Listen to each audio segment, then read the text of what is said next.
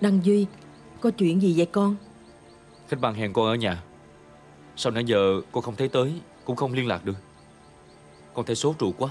Chắc là Khánh Băng ghé đâu đó mua đồ Con đừng có sốt ruột quá như vậy. Hay là Khánh Băng về bên nhà rồi đó con? Con gọi rồi. Bác Sơn nói là Khánh Băng chưa có về. Chắc chắc là Khánh Băng đó con. Để con ra mở cửa. Đi từ từ thôi con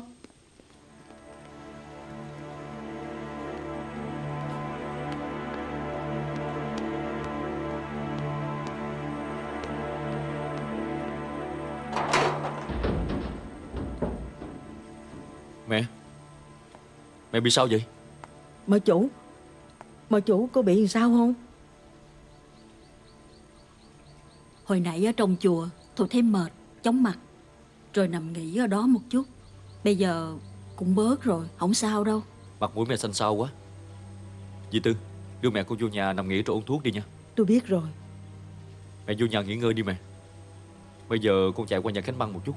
Dì Tư Nếu Khánh Băng có ghé đây á Dì kêu cô ấy gọi điện thoại cho con nha. Ờ ờ dì nhớ rồi con. Con đi nha mẹ. Ừ.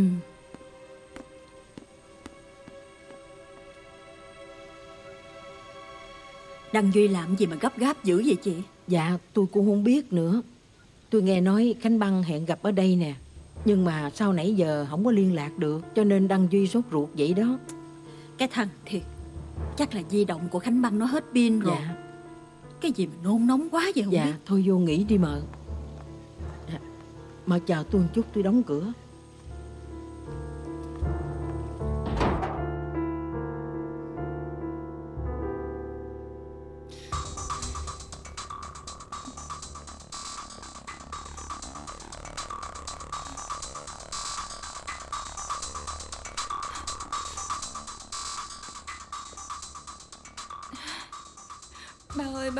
cho mẹ nghe ba. Đừng để mẹ xảy ra chuyện gì nghe ba ơi. Con không thể nào sống thiếu mẹ được đâu ba ơi.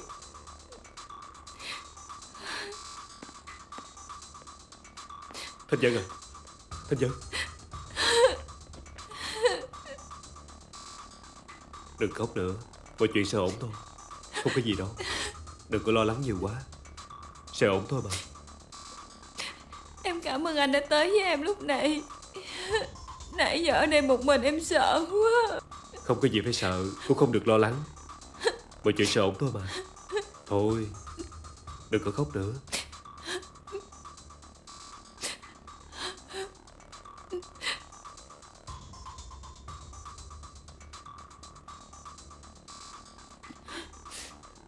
Coi anh kìa.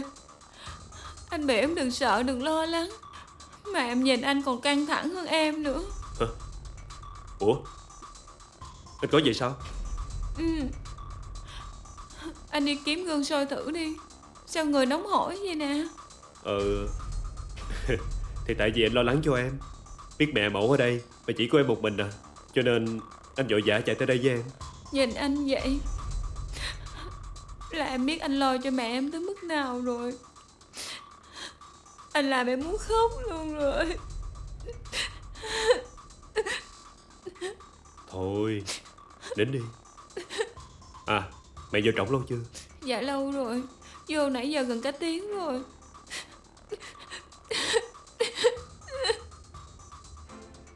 Yên tâm đi. Ekip bổ cho mẹ Toàn là những bác sĩ nổi tiếng ở đây không à. Em đừng có lo lắng quá. Anh Nếu không có anh Em không biết mẹ em giờ ra sao nữa. Em cảm ơn anh. Em cảm ơn ông trời đã xui khiến cho em gặp được anh. Nè Đã nói là không được dùng từ cảm ơn nữa. Nghe chưa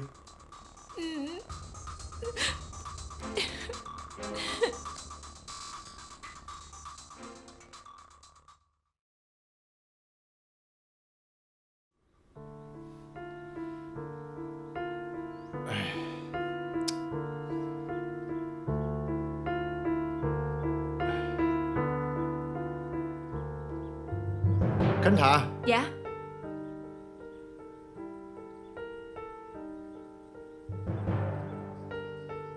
Con biết bạn bè nào của chị hai con? Gọi điện thoại hỏi xem. Gọi hỏi con có gặp chị con ở đâu không? Mấy người bạn thân của chị hai á Con đã gọi hết rồi Mà không có ai gặp chị con hết á. Từ trưa đến giờ con gọi điện cho các bệnh viện Để hỏi coi các vụ tai nạn Nhưng mà cũng không có tin tức gì hết. Mấy người bạn của bác bên công an Họ nói là Có được tin tức gì thì họ sẽ báo liền. Sao tới giờ mà vẫn chưa thấy ai gọi đến? Không có tin gì là vẫn còn hy vọng đó ba. Ờ Đăng Duy Lúc Khánh Băng gọi điện cho con Nó nói cái gì vậy? Dạ Khánh Băng kêu con về nhà gấp Có chuyện. Chuyện gì con? Chắc chắn Khánh Băng gặp sự cố này Là có liên quan tới manh mối đó. Nếu mình nói ra cho nhiều người biết Chỉ e rằng Sao con? Nó nói cái gì? Dạ Khánh Băng nói là có chuyện quan trọng cần phải nói với con Chuyện quan trọng gì Mà nó phải gọi con về nhà gấp vậy?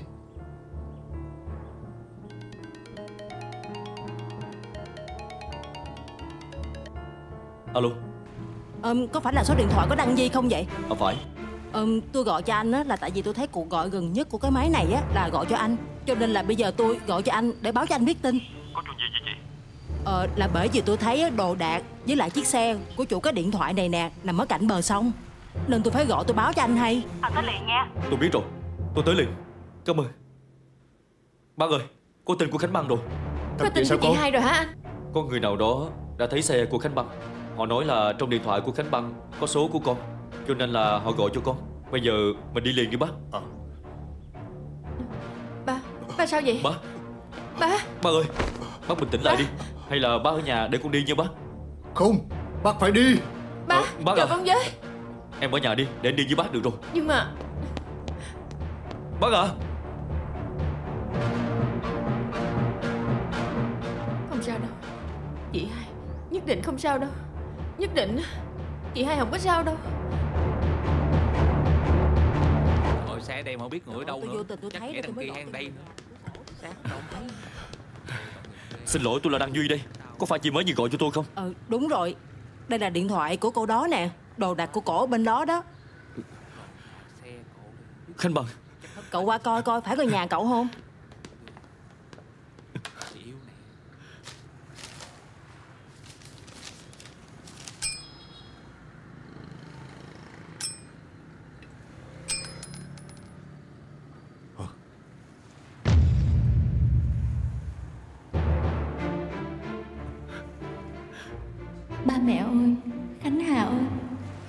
người đọc được lá thư này, có lẽ con đã có một quyết định cho bản thân mình.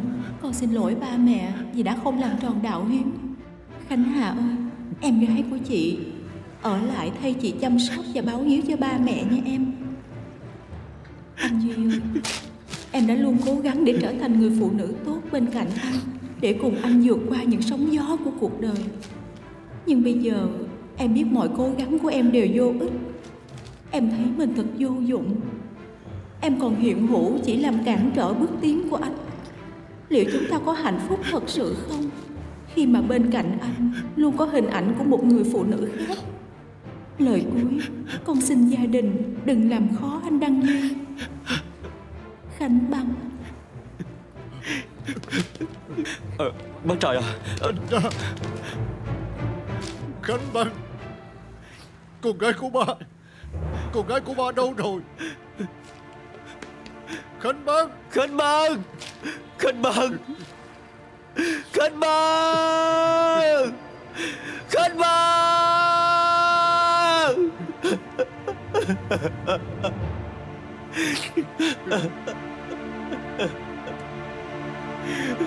Khánh Băng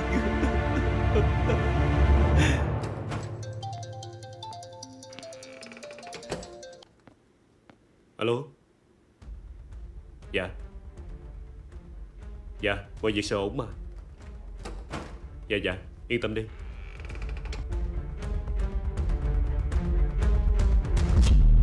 Anh.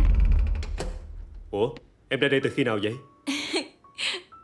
Em mới ra tới mà. Ôi anh nhắc gan vậy luôn á. Thấy em mà giật mình dữ vậy đó hả? Ờ Thì anh đang đứng một mình Tự nhiên xoay người lại Có người đứng bên cạnh Sao không hết hồn được Em biết không? Hả? Ở trong bệnh viện nhiều ma lắm á. Thiệt. Anh đừng có hù em chứ.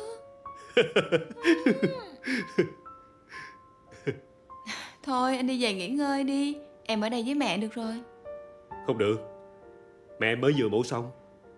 Anh phải ở đây với bác. Bác sĩ nói ca mổ của mẹ rất là thành công. Mẹ cũng đã tỉnh lại rồi. Anh đừng có lo Về nghỉ ngơi đi Mai còn đi làm nữa. Làm cái gì thì làm. Sức khỏe của mẹ vợ tương lai Phải đặt lên hàng đầu mới đúng chứ. Ý. Hử?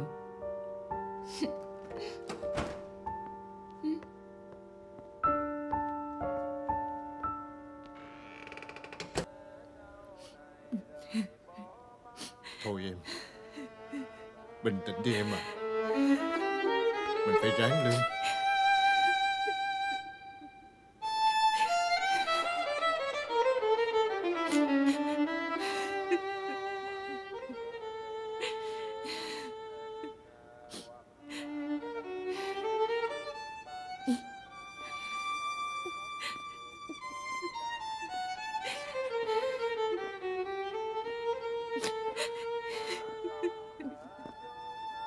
tới đây để làm gì?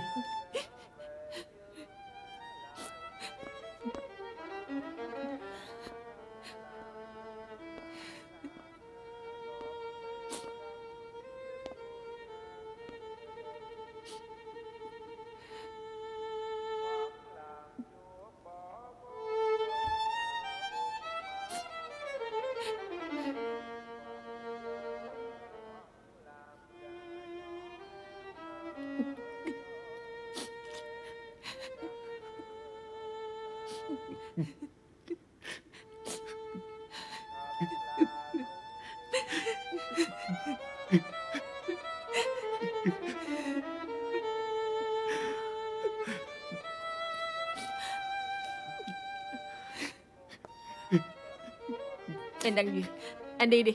Anh đi liền đi. Anh đừng có ở đây. Làm bộ mèo khóc chuột trước mặt gia đình tôi. Chị hai tôi Thương anh tới như vậy. Hy sinh cho anh nhiều tới như vậy. Mà anh làm cho chị tổn thương tới mức Phải tìm tới cái chết. Anh đúng là đồ độc ác mà. Anh đi về đi Đi về đi. Anh về liền đi. Ba Ba nói anh đi về đi ba. Khánh Hà nhìn thấy anh Bình đây tĩnh lại con. Để ba nói chuyện với cậu ấy. Cậu mau đứng dậy đi. Tôi muốn nói chuyện với cậu. Bây giờ tôi nói ngắn gọn thôi. Tôi không biết giữa cậu và Khánh Băng Đã có chuyện gì xảy ra. Nhưng mà con gái tôi Trước khi mất Nó đã tháo nhận để lại. Điều đó có nghĩa là Giữa nó với cậu. Giữa cậu với gia đình chúng tôi. Không còn một mối liên hệ nào nữa cả. Cậu về đi. Bây giờ Tôi có trách cậu, Thì con gái của tôi cũng không sống lại được. Coi như vợ chồng tôi xin cậu. Xin cậu về đi. Nhìn thấy cậu, Tôi đau lòng lắm, cậu có biết không? Tôi đau lòng lắm, cậu có biết không hả?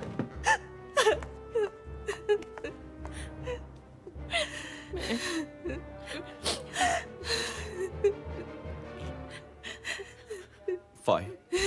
Hai bác nói không sai. Con xin tạ tội với hai bác. Khanh băng vì con mà đã bỏ mạng. Cậu đi về đi.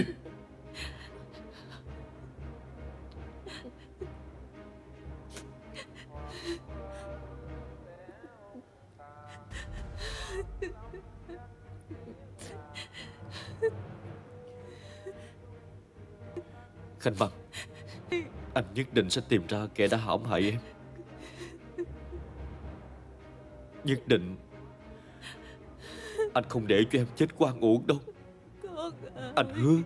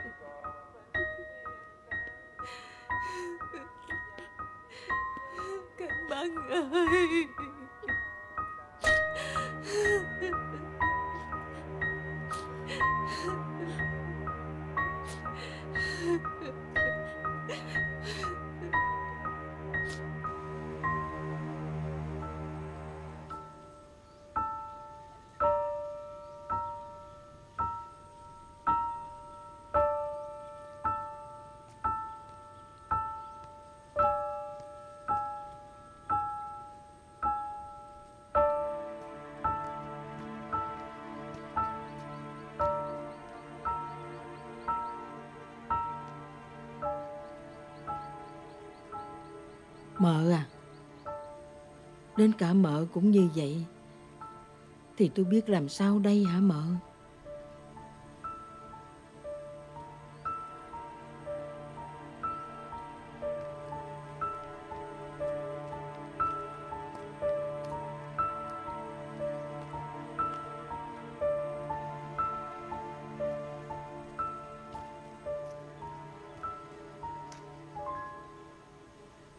Tại sao vậy hả chị Tư? Tại sao mọi chuyện xui rủi cứ đến dồn dập vậy? Nỗi đau mất cha chưa kịp dơi đi Thì phải chứng kiến cái chết thương tâm của Khánh Băng Đăng Duy làm sao mà chịu nổi đây hả chị Tư? Tôi Tôi cũng không biết tại sao lại xảy ra chuyện như vậy nữa Hai đứa thương nhau vậy Sao Khanh Băng lại tự tử chứ Mấy lúc gần đây Chị có nghe Khánh Băng nó than thở gì không? Dạ không. Bộ Mợ biết Khánh Băng có chuyện gì buồn phiền sao? Không Tôi đâu có biết gì. Lần nào tới đây chơi Khánh Băng nó cũng đều vui vẻ. Nhưng mà cái hôm Ở đám tang của Khánh Băng đó Chị không nhớ sao Khánh Hà nó luôn miệng mắng chửi Đăng Duy. Nó đổ thừa là Tại Đăng Duy gian díu với người khác. Cho nên Khánh Băng nó mới tự tử. Tôi không có tin chuyện đó là thật đâu. Có khi vì quá đau lòng Nên Khánh Hà mới chửi như vậy cho nhẹ bớt thôi. Hay là có cái sự hiểu lầm gì đó. Chứ tôi thấy giữa hai đứa đâu có chuyện buồn phiền gì đâu. Thì tôi cũng thấy giống như chị vậy nhưng mà Tôi cứ thắc mắc Là Tại sao Đăng Duy không hề phân trần đính chính gì hết? Nó cứ để mặt cho Khánh Hà mắng chửi, Để mặt vợ chồng ông Sơn cấm nó để tan Vợ chồng ông Sơn là người chính chắn biết điều. Nếu không có gì, Thì tại sao họ coi Đăng Duy như người ngoài vậy? Không coi nó là chồng sắp cưới của Khánh Băng. Thiệt tình, tôi tôi cũng không hiểu nổi nữa.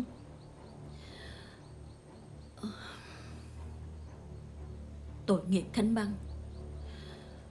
Chắc là Nó phải đau lòng lắm Mới chọn cái chết trầm mình dưới sông như vậy.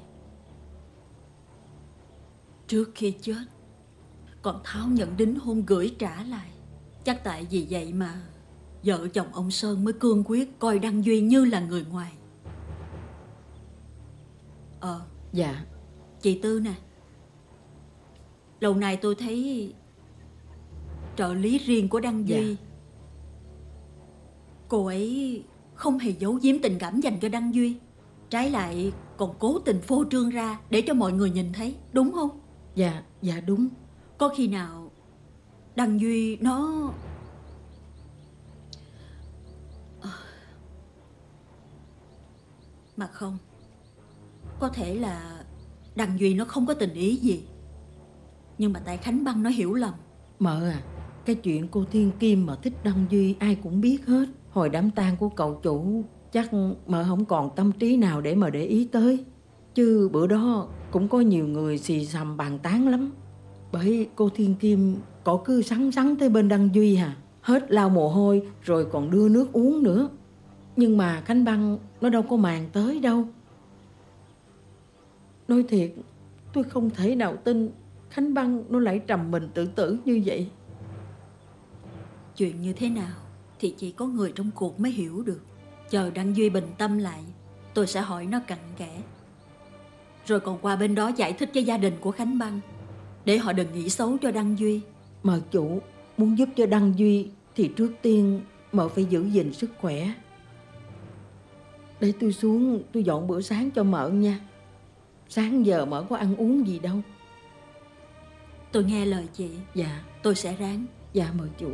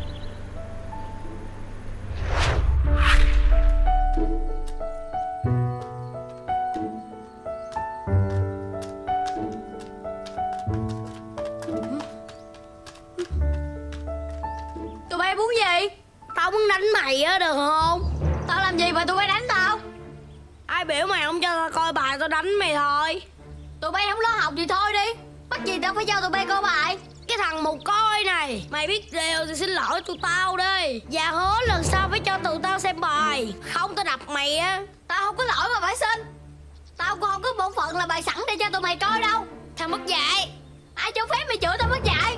Tao cho phép tao nói á cái thứ mà coi như mày mà không mất dạy là gì? Thôi không nói nhiều nữa Đánh nó đi. Ừ Đánh nó. Mày mày á mày. Mày hả? Mất dạy Ai thằng kia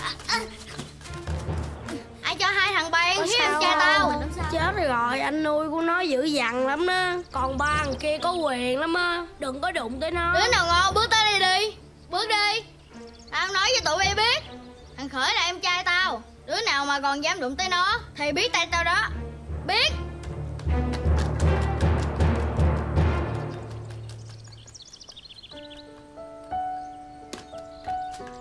Em có sao không? Dạ, em không sao. Như vậy mày nói không sao hả? Em đừng có lo Anh sẽ bảo vệ em. Anh sẽ nói cho cả trường này biết. Em là em trai của anh. Anh cũng vậy. Mãi là anh em. Mãi là anh em Mãi là anh em. Yeah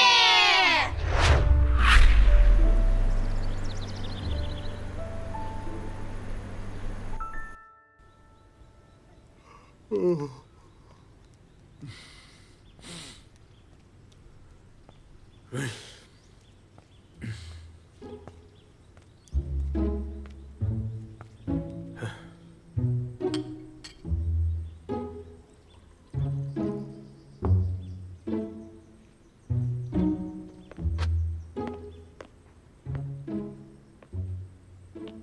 Kiệt ơi!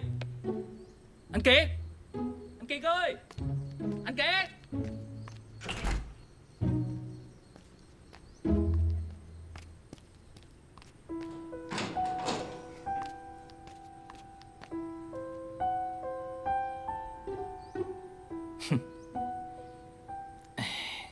Sao?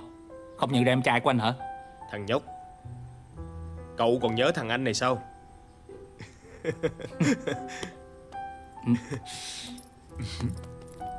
Em về là tốt rồi.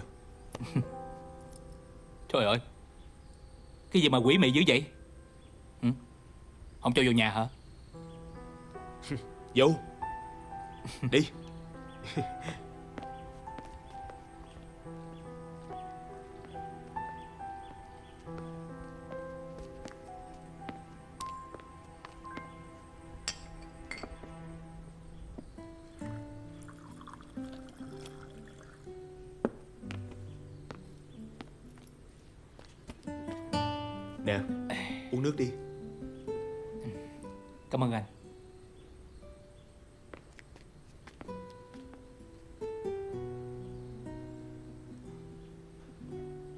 Em có quà cho Đăng Di đó hả?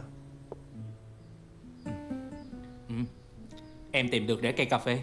Đẹp không? Nếu món quà này tới sớm hơn Thì Đăng Di sẽ thích lắm. Anh Đăng Duy có chuyện gì hả? Khánh Băng Vợ sắp cưới của Đăng Di mất rồi. Cái gì? Chị Khánh Bạc mất rồi hả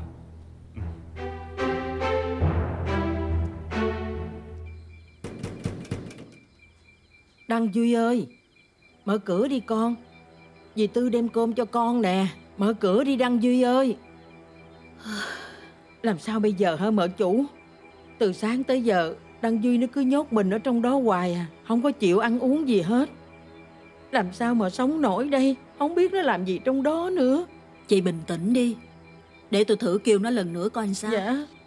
Đăng Duy à Nghe lời mẹ Ra ăn chút gì đi con Nhà này bây giờ chỉ biết còn dựa vào con thôi. Con mà có bề nào, Rồi mẹ sống sao đây hả Đăng Duy? Đăng Duy ơi, Con đừng có làm mẹ sợ Đăng Duy ơi.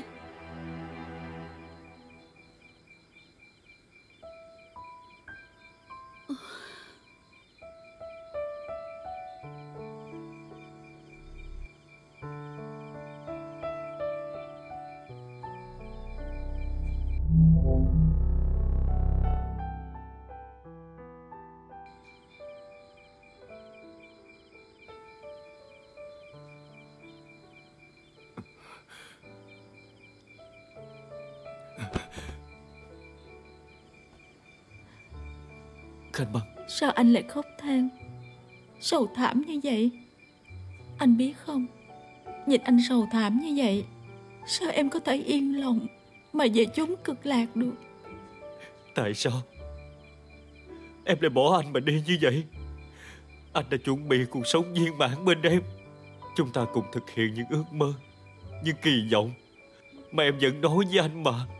Cuộc sống vốn dĩ vô thường Ai cũng muốn mình được sung sướng, Được hạnh phúc, Nhưng không ai biết Là con người Đều có gì sao chiếu mệnh. Và vì sao của em đã tắt, Không còn được tỏa sáng, Không còn được lung linh bên đời anh nữa. Em cũng đau đớn, Cũng mất mát. Nhưng nghĩ cho cùng, Em đã cảm nhận được Đầy đủ hạnh phúc Khi bên anh. Tuy rất ngắn ngủi, Nhưng được anh thương yêu. Chăm sóc như vậy, Em đã đủ mãn nguyện.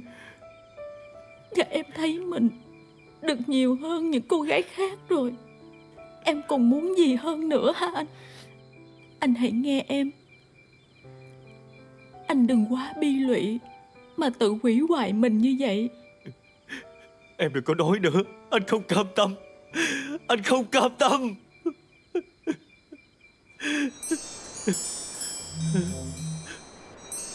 Khanh Băng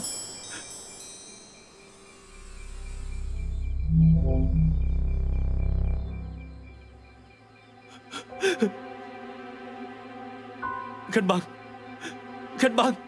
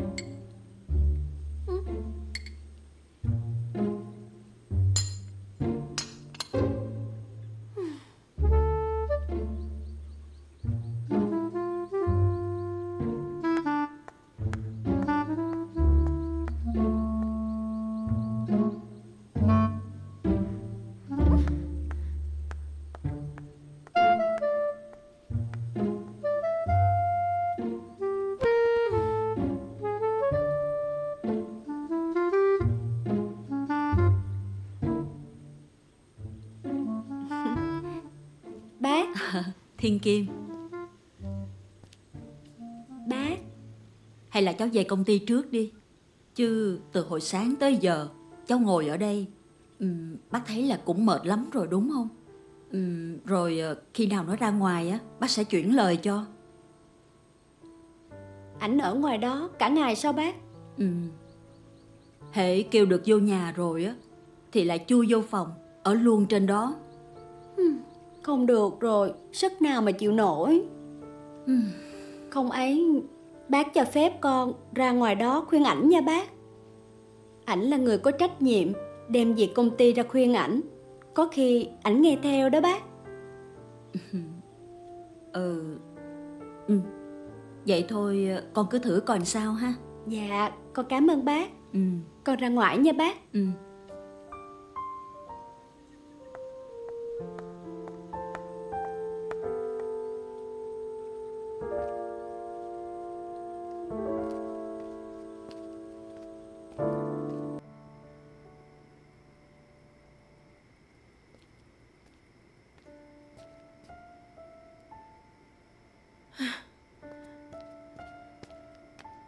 Mợ chủ ơi, Đăng Duy nó cứ như vậy hoài, chắc chết, sống làm sao nổi hả mợ chủ?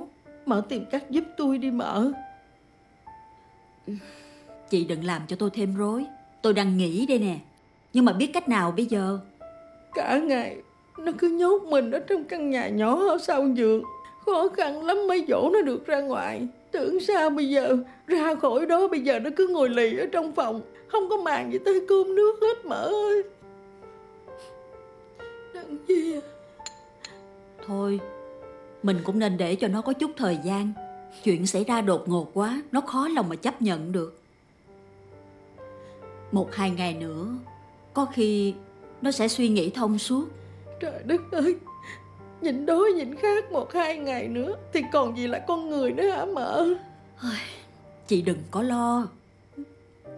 Con người ta nhịn đói nhiều ngày Cũng không có chết được đâu Còn nhịn khác. Tôi nghe nói Cũng tận ba bốn ngày gì lận. Với lại sinh tồn là bản năng của con người. Tôi tin tới một giới hạn nào đó. Tự nhiên nó cũng tìm tới đồ ăn thức uống thôi à. Thôi thôi Tôi không có chịu nổi mợ ơi. Tôi không thể nào à, ăn uống no đủ Mà đứng nhìn nó chịu đói chịu khổ như vậy được hết á. Chị nói như thể tôi đầy ải Không cho nó ăn uống không bằng. Đăng gì à? Tôi cũng đang rối ruột đấy nè Nhưng bây giờ biết làm sao mà ép được nó đây? Đặng Di ơi.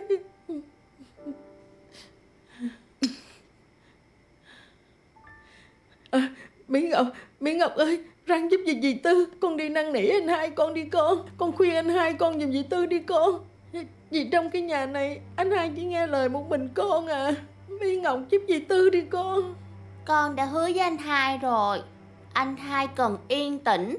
Con không có quấy rầy anh hai đâu. Con không muốn anh hai ghét con.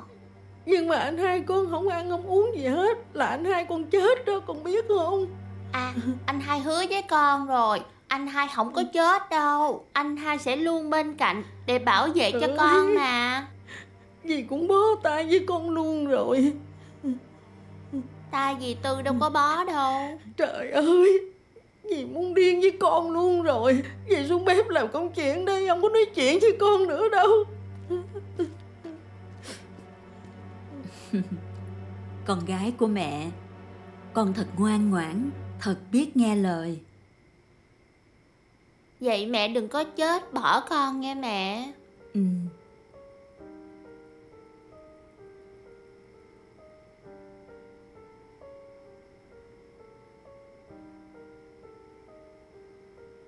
Đương nhiên rồi. Mẹ làm sao chết được?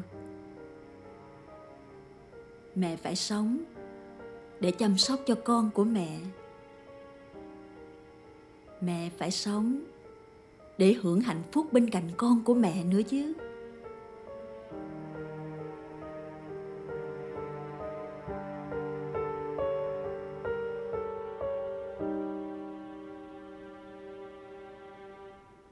Nhưng mà Khánh Băng đâu phải là dạng phụ nữ tự tử di tình.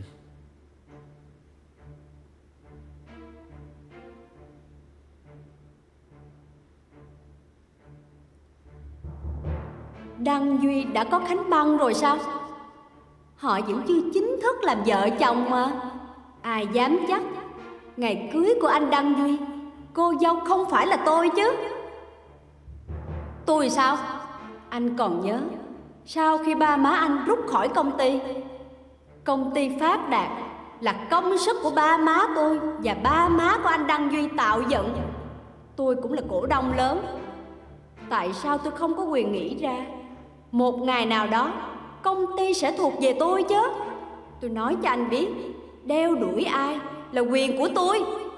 Được cái gì là tự tôi biết. Anh kêu tôi cho bản thân mình một cơ hội khác, Hay là kêu tôi cho anh một cơ hội hả?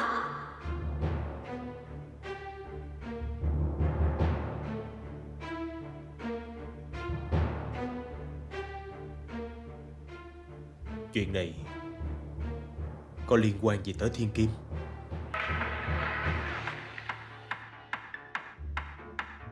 Thiên kim ơi! Thiên kim! Thiên kim ơi! Thiên kim Thiên kim ơi! Thiên kim! Mất hứng thiệt á. Thiên kim!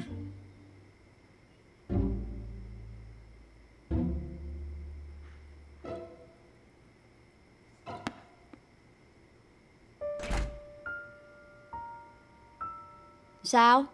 Muốn vô nhà uống nước hay gì? Anh có chuyện quan trọng muốn nói với em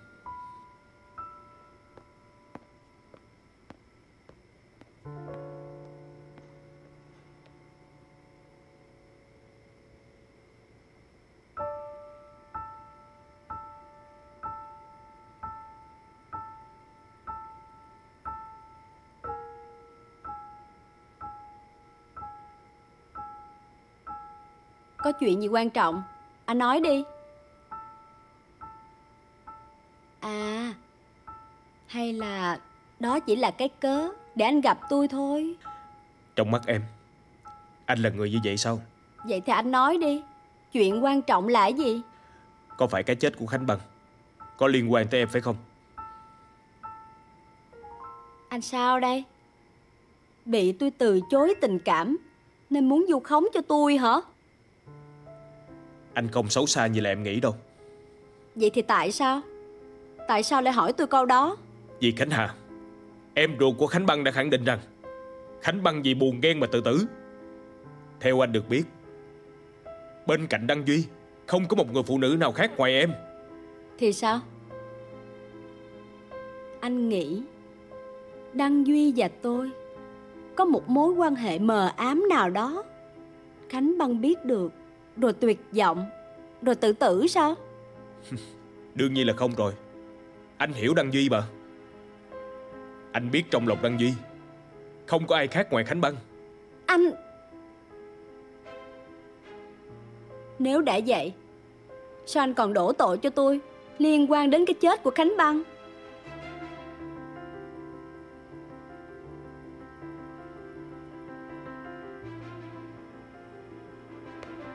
Anh làm gì vậy?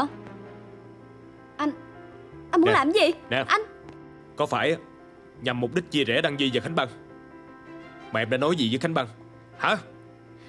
Phải! Tôi rất muốn chia rẽ họ. Tôi cũng nhiều lần thách thức.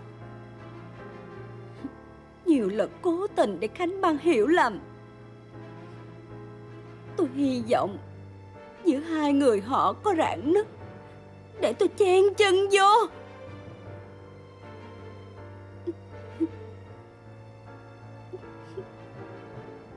Nhưng anh biết sao không?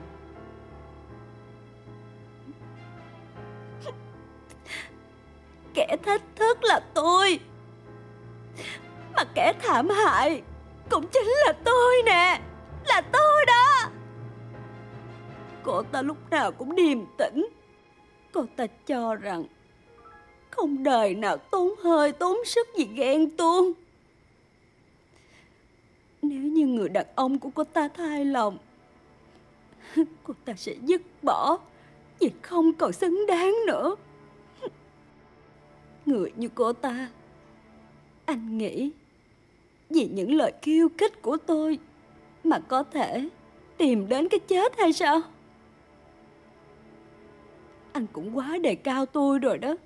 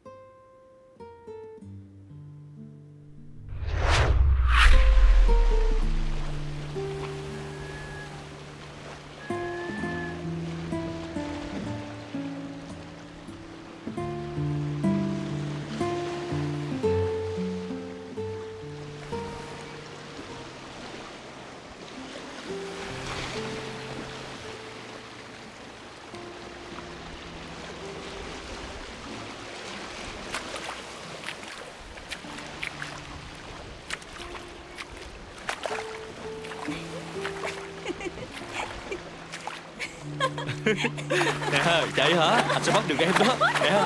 Đổ anh á.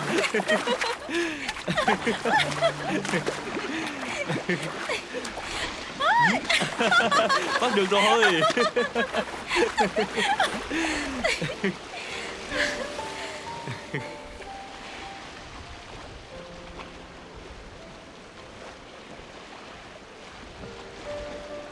Khánh Bằng à Em xinh đẹp quá Em giống như là một cô tiên vậy. Em thích anh. Khen em giống công chúa thôi Chứ em không muốn làm tiên đâu. Tại sao? Vì là tiên Trước sau gì cũng phải bay về trời. Em không muốn về trời đâu Em chỉ muốn ở lại đây bên cạnh anh thôi. Anh sẽ không bao giờ để cho cô tiên xinh đẹp này về trời đâu. Anh sẽ giữ em lại. Giữ thật chặt. Thật không? Anh có giữ em được không? Đương nhiên rồi. Đời này kiếp này Anh sẽ luôn giữ chặt em bên cạnh. Ừ, Chưa chắc đâu. Em chờ anh nhé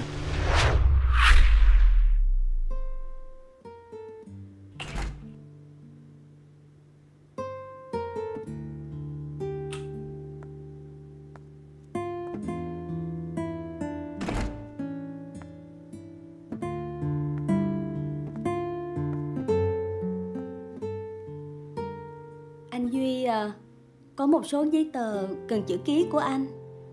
Em đem tới rồi. Anh xuống nhà coi qua rồi ký giúp em nha.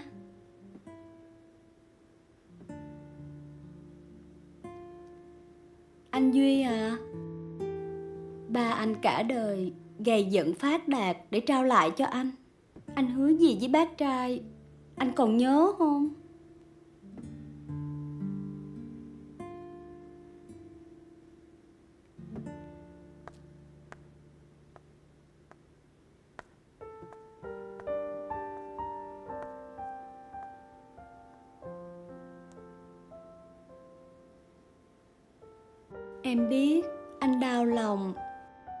Anh cứ như vậy hoài, Thì nỗi đau có bớt được chút nào không? Sự thịnh suy của Phát Đạt Ảnh hưởng tới hàng mấy trăm người trong công ty, Tới hàng vạn công nhân ở ngoài công trình nữa Anh có nghĩ tới không?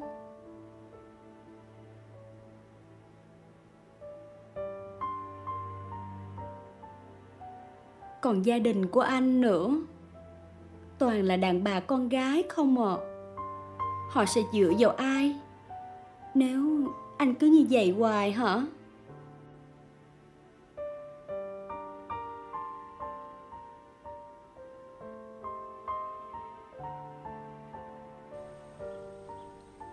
Vô đây con. Dạ. Dạ mợ chủ Có cô Khánh Hà tới nè. Ủa Chào Khánh bác. Hà.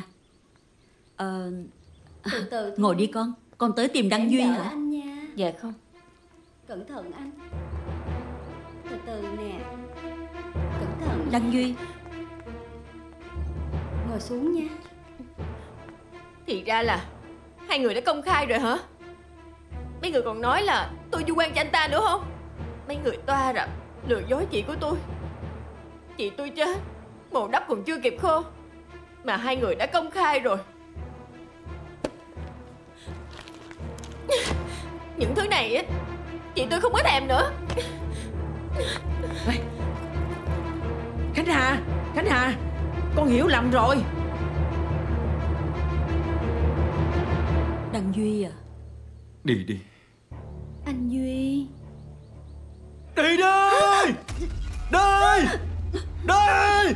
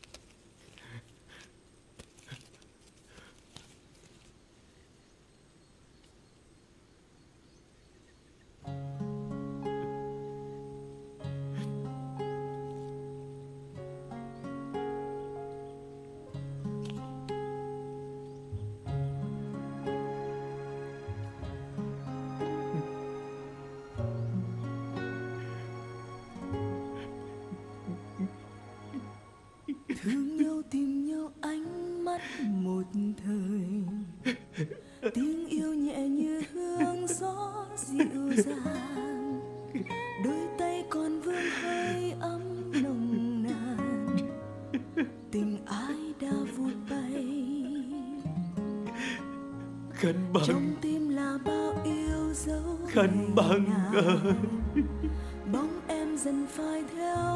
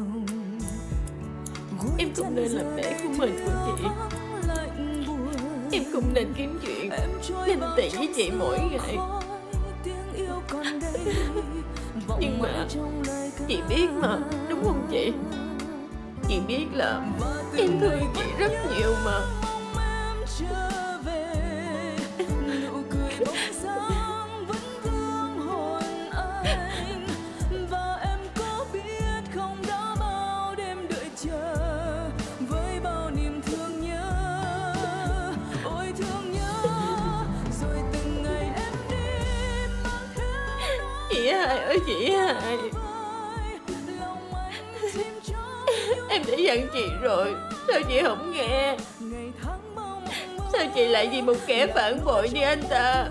Mà quỷ hoại đời mình mai đây mình anh lẽ bóng muộn phiền nói sao lòng anh cho hết niềm nhớ mong còn lại gì Cơm tới rồi. Ủa Sao mình không chịu ăn dưới bếp để dọn rửa cho nó tiện luôn con? Thôi Ở đây có cửa sổ gió mát hơn Với lại cái ghế này cũng êm hơn nữa. Ngồi vậy mới thích chứ. Ngồi đó Để cho con phục vụ. Được rồi con. Nè mẹ.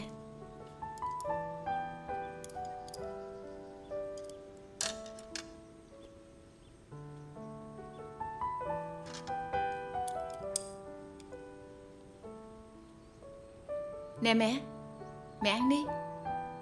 Ừ. Ăn trứng nữa nè. Được rồi con để mẹ tự lo Mẹ phải ăn nhiều vô Ăn nhiều mới mau hồi phục sức khỏe được chứ. Ăn đi Gấp cho mẹ nhiều vậy sao mẹ ăn cho hết? Mẹ phải ráng ăn cho hết chứ Ở đó mà hỏi sao ăn cho hết được. Ờ Hôm nay là chủ nhật Sao con mời cậu Khiêm đến ăn cơm với mẹ con mình? Ừ. Công việc của ảnh lu bu lắm mẹ ơi. Chủ nhật bữa tối Nhiều khi phải gặp đối tác đó Vậy hả? Ừ, làm cái này làm cái nọ đủ thứ hết. Lúc nào anh sắp xếp được thời gian á Là anh tự tới à. Mẹ đừng có lo. Cậu ấy thiệt là vất vả. À hôm nào cậu ấy đến Nhất định con phải nấu mấy món ngon mà cậu ấy thích nghe chưa? Tuân lệnh mẹ. Mẹ ăn đi. Ừ. à, Nè mẹ. Được rồi con. Dần dần Dạ. Mẹ tính vậy nè Mẹ tính gì? Mẹ tính Mẹ đi tái khám Rồi mẹ về quê luôn. Con nói cậu Khiêm trả ngôi nhà này cho người ta đi con. Để cậu ấy tốn kém tội nghiệp cậu. Mẹ Mẹ cứ ở lại đây với con đi. À, Con Con cũng sắp đi làm rồi. Con sẽ có tiền lo cho mẹ mà. Nhưng mà mẹ đi lâu mẹ thấy nhớ nhà lắm. Ôi Không Con không biết đâu. Vài bữa nữa mẹ đi tái khám Con sẽ hỏi bác sĩ tình hình của mẹ như thế nào rồi tính tiếp Chứ giờ là con không có duyệt đâu. Ừ. Ừ, Mẹ ăn đi. Ăn thiệt là nhiều cho giùm con đi mà. Ừ. Nè Nhiều quá rồi con. Mẹ ăn rau đi mẹ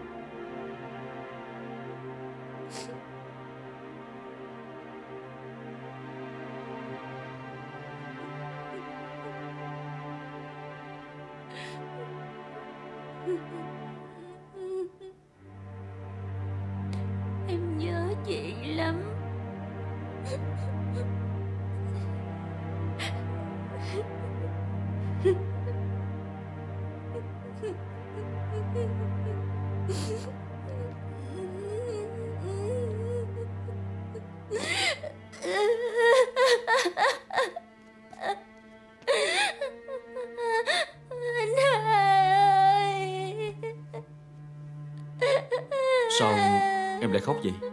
Nói cho anh hai nghe coi. Em nhớ chị Khánh Bằng. Chị Khánh Bằng chải tóc đẹp cho em.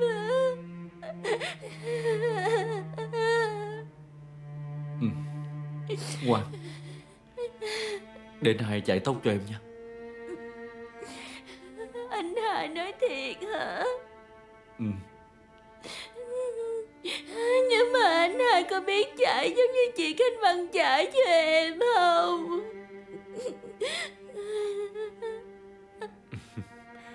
biết mà. Để anh hai chạy cho.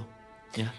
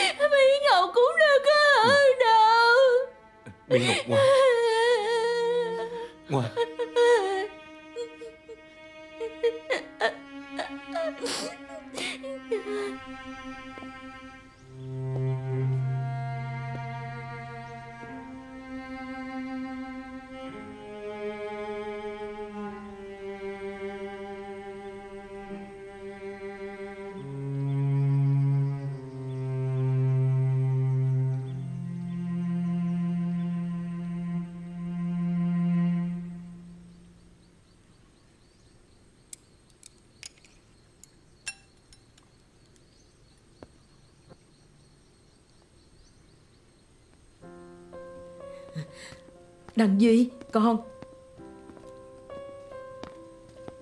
Đăng Duy con ngồi đây đi Để dì Tư dọn buổi sáng cho con. Dì Tư làm liền hà. Chờ chút nha con.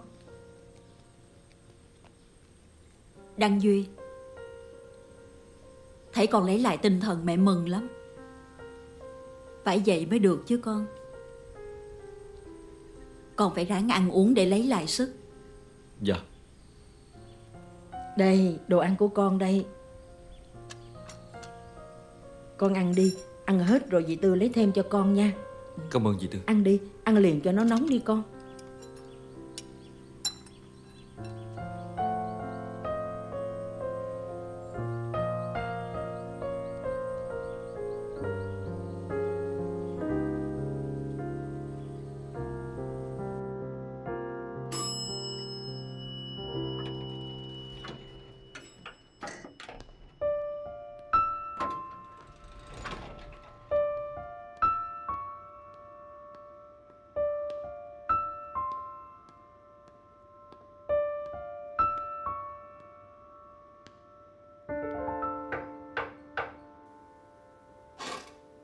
Ai vậy trời? Hả? Chủ tịch. Ừ. Anh Đăng Duy. Duy đã trở lại? Chào chủ tịch. Anh Đăng Duy Anh tới rồi. Chủ tịch quay trở lại ngồi rồi. đi anh. Nè nè.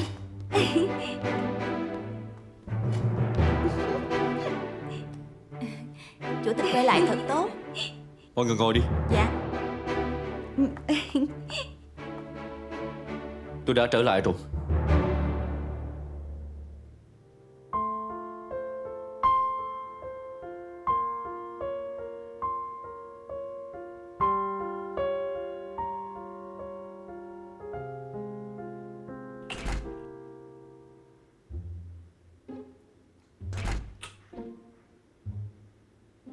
Cô thông báo với các giám đốc bộ phận Học khởi như đầu giờ chiều nay. Dạ. Tập hợp các bản kế hoạch Chiến lược hoạt động của các phòng ban. Dạ. Báo cáo tài chính của quý vừa rồi cho tôi. Dạ. Ừ, Còn gì nữa không ạ? Lịch trình hôm nay của tôi như thế nào? Dạ Chiều nay có cuộc gặp với lãnh đạo môi trường. Nhưng mà mấy hôm nay Anh không có được khỏe Nên em định quản lại. Không cần đâu tôi sẽ gặp. Dạ. Cô đi làm việc của cô đi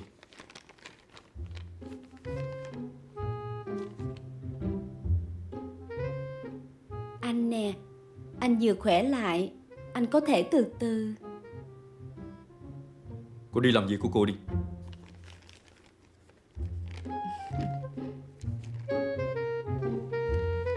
Dạ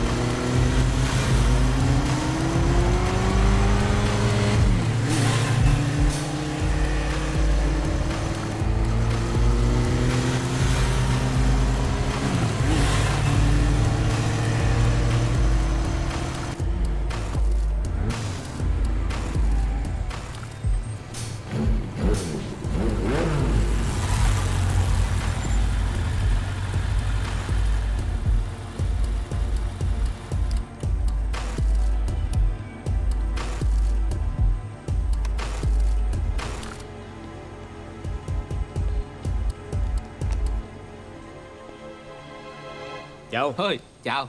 Chào. Chào. Chào. Chào.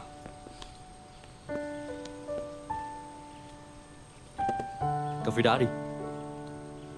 Ông chủ ơi. Ôi. Cho hai ly cà phê đi. Rồi rồi có liền.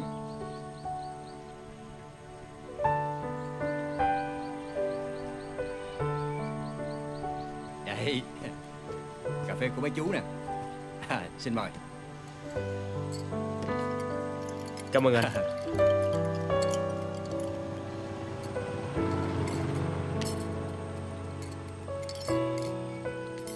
Có một việc Tôi đang rất muốn hỏi ông. Nhưng mà Thời gian qua Tôi thấy ông đau lòng quá Cho nên không tiện mở lời. Việc gì? Ông nghĩ sao Về cái chết của Khánh Băng? À, Ý tôi là Ông có nghĩ là Khánh Băng tự tử không?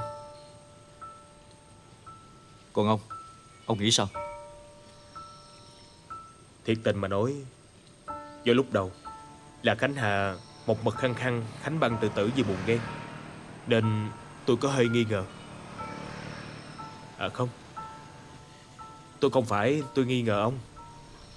Tôi biết Ông ngoài Khánh Băng ra Chưa từng có một người con gái nào khác hết Và tính tình Tính tình của ông thì không thích gian díu mấy chuyện bậy bạ. Có điều, Tôi nghi ngờ Thiên Kim.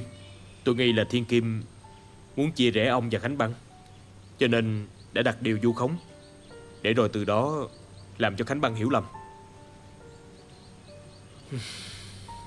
Nhưng mà Sau khi suy nghĩ kỹ lại, Tôi thấy Nó vô lý lắm. Tôi mới nghi Thiên Kim. Vì cái chết của Khánh Băng Không thể nào Cô ấy tự tìm tới cái chết được.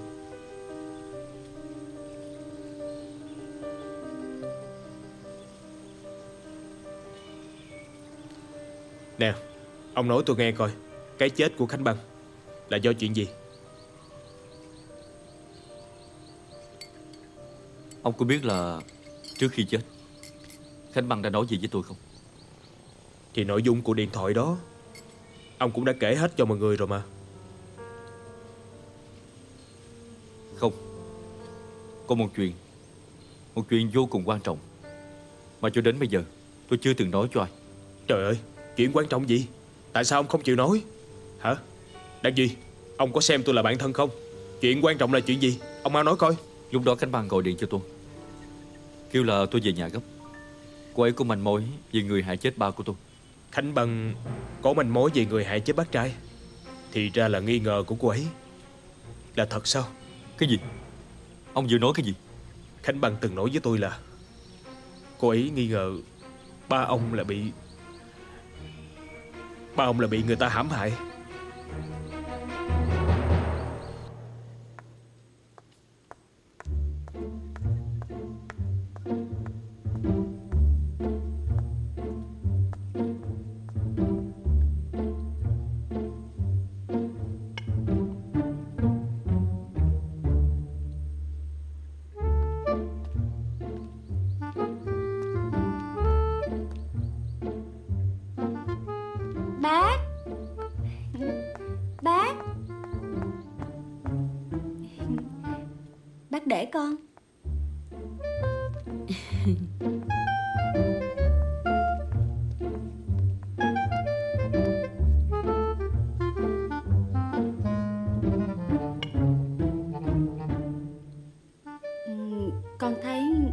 Trong nhà mình buồn quá Nên mua ít hoa tươi Tới cắm cho tươi tắn Vui vẻ hơn đó bác.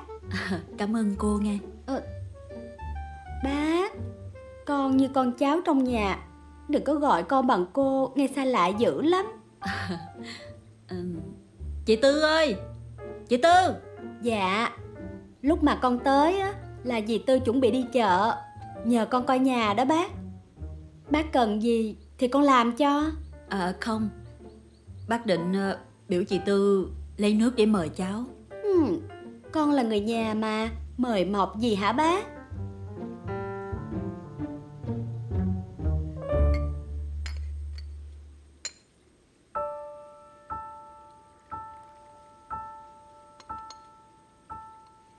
Con mời bác uống nước.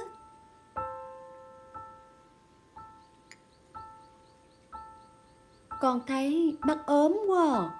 Bác phải ráng bồi dưỡng vô cho có sức khỏe nha bác. À, Cảm ơn cô. Ừ. Cảm ơn cháu. Dạ. À Mấy hôm nay Đăng Duy tới công ty làm việc tốt không? Dạ. Về công việc á thì rất là tốt. Thậm chí còn tốt hơn thời gian trước nữa đó bác. Ờ. Nhưng mà ờ, Nhưng sao hả cháu? Dạ công việc thì rất là tốt. Nhưng mà còn tinh thần của ảnh á thì con lo lắm luôn á. Ảnh cứ lo làm việc quên luôn bản thân. Mà tâm tính của ảnh cũng đổi khác. Khiến ai cũng phải ái ngại khi mà tiếp xúc với ảnh á. Cũng đúng. Đằng Duy liên tiếp. Trải qua hai cú sốc lớn tới vậy mà. Nó bình thường mới là chuyện lạ. Ngay cả Mỹ Ngọc là đứa vô tư. Mà bây giờ cũng gần như là trầm cảm. Suốt ngày cứ ru rú ở trên phòng Chuyện ăn uống của nó thôi Cũng khiến chị Tư vất vả nữa Đằng Duy mà không sớm trở lại bình thường Thì cái nhà này Thiệt không biết sẽ ra sao nữa Bác ơi, từ nay bác cho phép con lui tới nhà này để phụ giúp dì Tư một tay nha bác. Biết đâu có con lui tới chuyện trò, Mỹ Ngọc sẽ khá hơn. Rồi không khí nhà mình cũng bớt ảm đạm hơn đó bác. Ừm, thì tùy cháu Bác chỉ sợ phiền cháu thôi à Ừm, dạ, đâu có gì đâu mà phiền hả bác? À, bác uống trà đi bác. Bác uống đi. Ừ.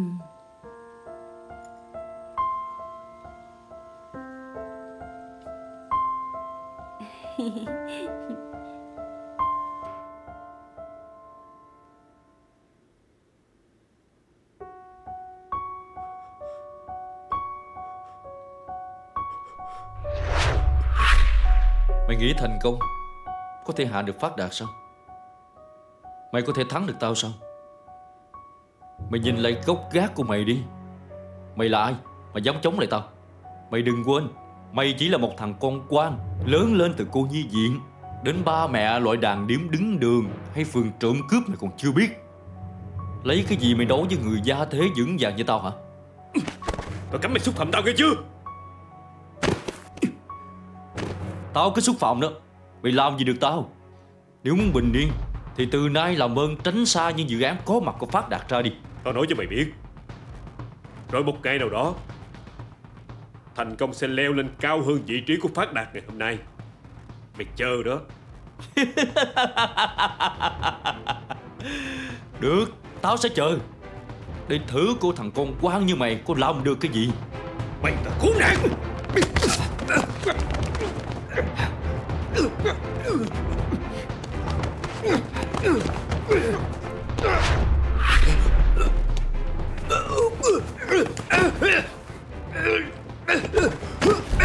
Ugh!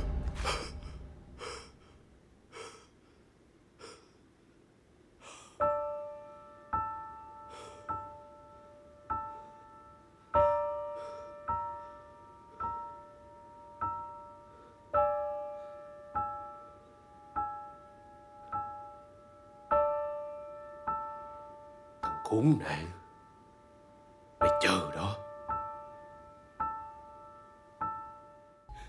Đừng đi. Đừng đi mà. Khanh Băng. Đừng đi. Khanh Băng. Khanh Băng.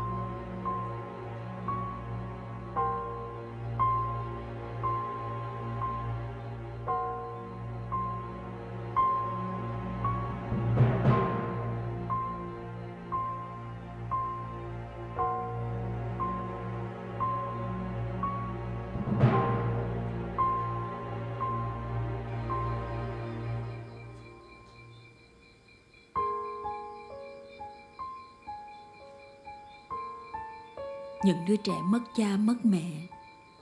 Thật là đáng thương biết mấy. Thật là đáng thương mà.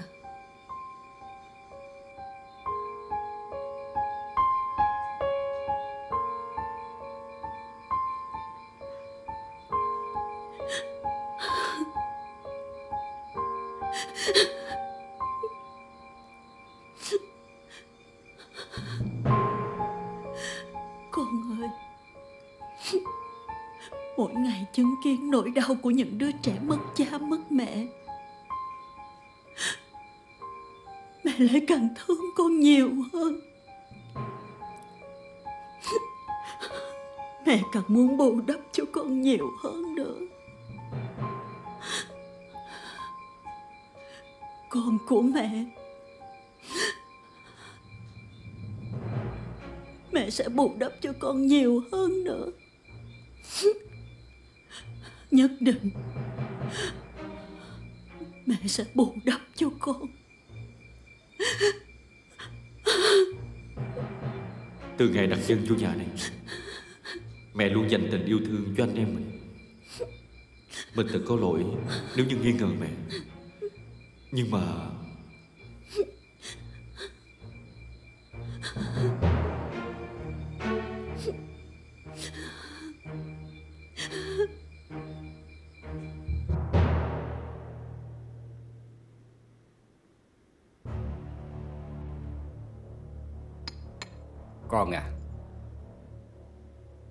Nếu là ba con Chú tin là anh ấy sẽ không làm như vậy. Thương trường vốn dĩ rất là khắc nghiệt. Để hai được đối thủ Đôi khi phải xài tới những chiêu trò tiểu nhân. Cũng là lẽ thường mà. Dạ con biết chứ. Nhưng con có cách làm riêng chú à? Ý của con là Con phản đối cách làm của ba con trước đây. Dạ không. Ba con có rất nhiều điều đáng để cho con học hỏi. Nhưng cũng có một vài chiêu thức Con thấy không phù hợp với hoàn cảnh hiện nay Nên con sẽ chọn lọc Là sao chú chưa hiểu Dạ Cách cạnh tranh của thế hệ ngày nay đã khác trước. Mọi người được tiếp xúc với công nghệ nhiều hơn trước. Cho nên cách đánh giá về kinh doanh cũng khác. Các nhà thầu cũng nhiều hơn và có trình độ hơn. Dẫn tới cạnh tranh khốc liệt. Nếu chúng ta cứ dùng chiêu trò, có thể thắng nhất thời. Nhưng sẽ có hại gì sao? Nhưng các đối thủ của ta đều dùng chiêu trò Một mình ta muốn lương thiện Con nghĩ có tồn tại được không? Con liệu có giữ dựng phát đạt được hay là không? Đương nhiên Là con biết chuyện đó. Để đưa phát đạt tiến tới ngày hôm nay Ba con và các chú đã phải bỏ ra rất nhiều tâm huyết và sức lực. Con sẽ cố gắng hết sức để làm tròn trách nhiệm của mình. Ừ. Còn nếu như Con không đủ năng lực Con rất vui lòng nhường lại chiếc ghế chủ tịch cho người khác xứng đáng hơn con. Con giỏi lắm, con khẳng khái lắm. Chú hy vọng là con sẽ không để cho ba con và chú thất vọng. Dạ. Vào đi.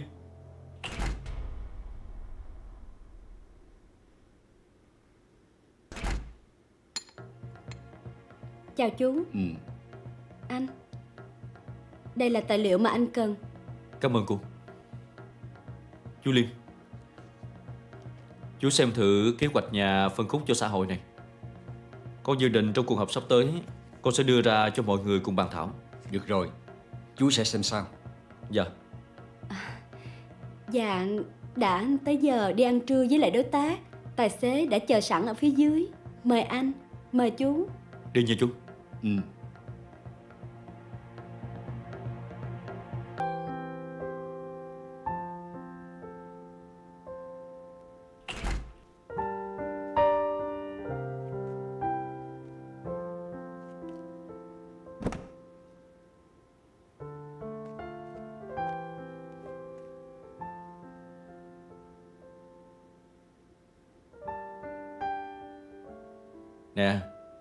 gái của anh hai?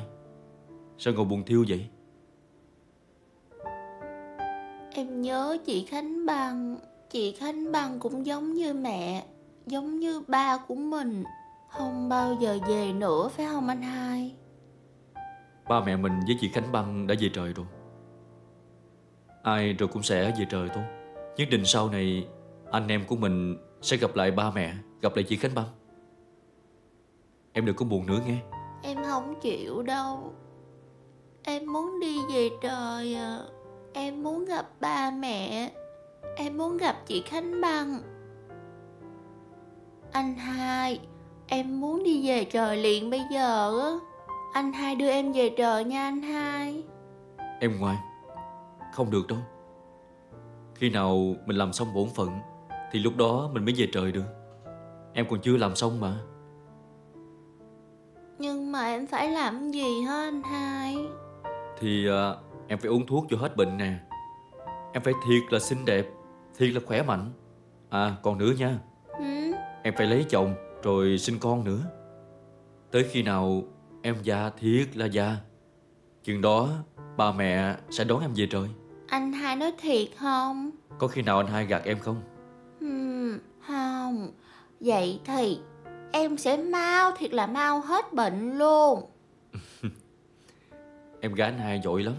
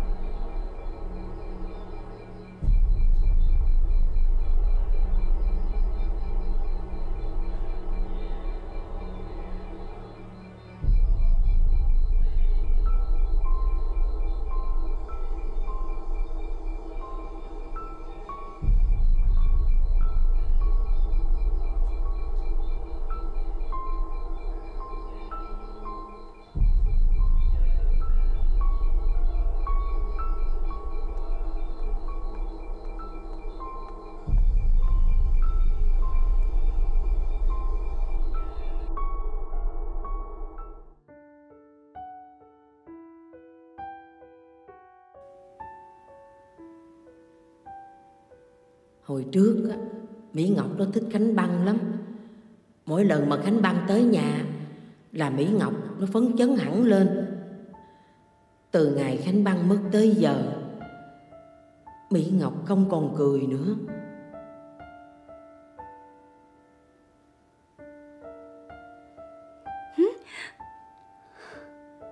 Phải rồi. Anh Đăng Duy cân em gái lắm. Nếu như Mỹ Ngọc cần có mình bên cạnh, Thì đương nhiên Anh Đăng Duy cũng cần mình. Ở công ty Ảnh đã cần tới mình rồi. Bây giờ, Nếu cần có mình ở nhà nữa, Thì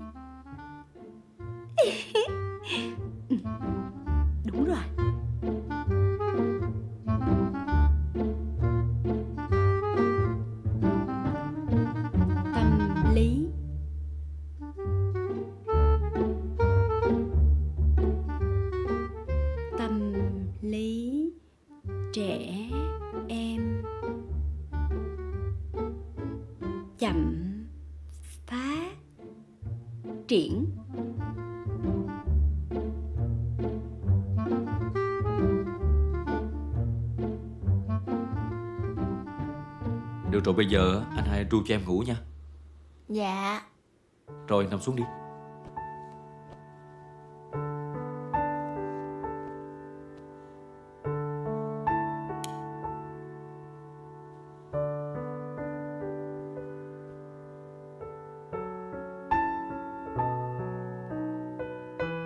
Mỹ Ngọc em nói cho anh hai biết đi. Nhưng lúc không có anh hai ở nhà Có ai ăn hiếp em không? Có chứ anh hai Ai? Ai ăn hiếp em? Dì Tư đó.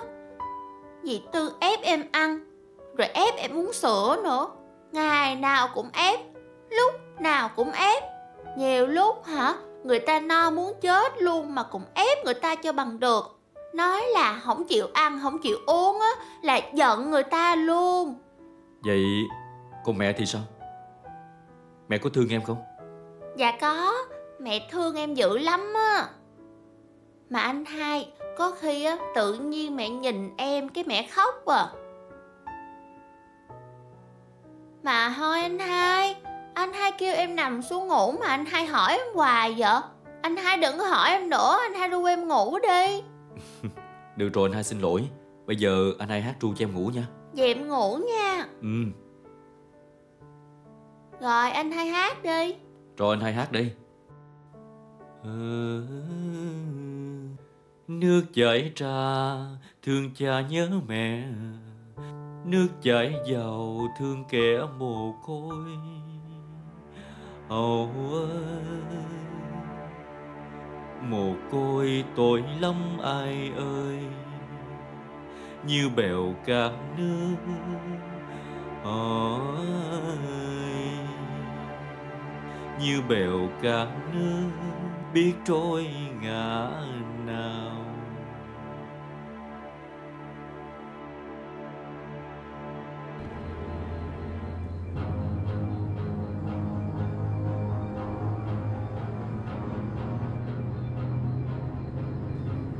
Cô ơi Hình như có người ờ, đang bám theo cô đó.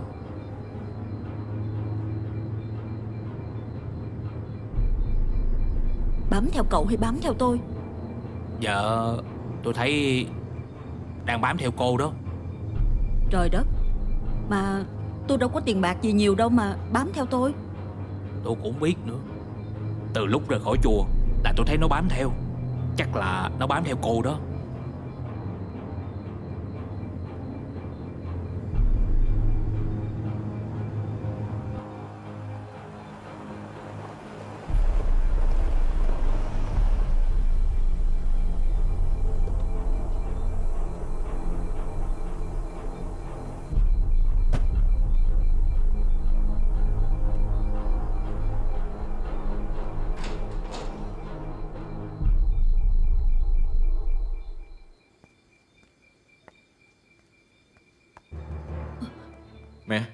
Có chuyện gì vậy?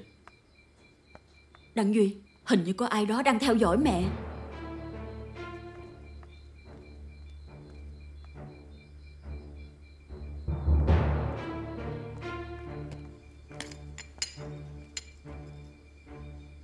Ai theo dõi mẹ?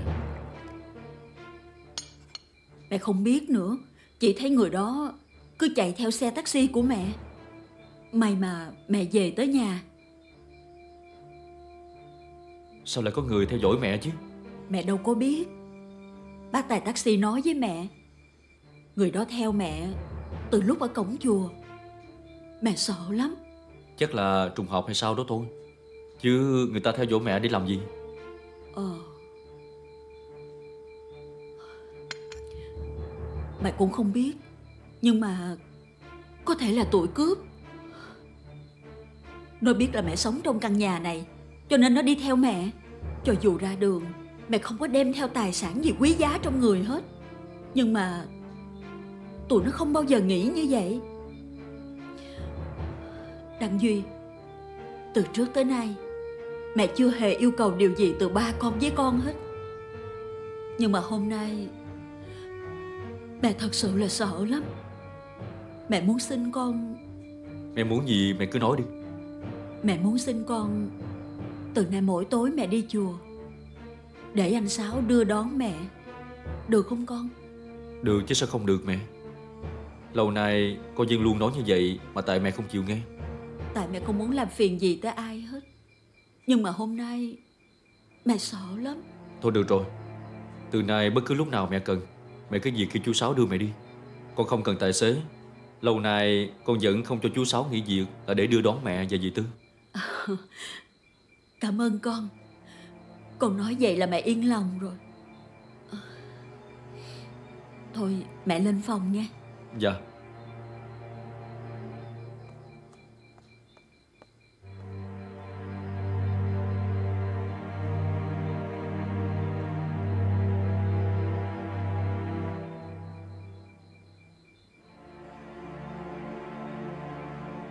Tôi muốn làm một phép thử.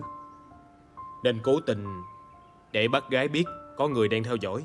Nếu bác gái thật sự có làm chuyện gì mờ ám Thì chắc chắn nếu biết mình bị theo dõi Thì bác ấy sẽ tự đề phòng. Chứ không có chuyện hốt quản Mà chạy về báo cho ông biết. Phải. Mẹ còn đề nghị Từ nay đi đâu?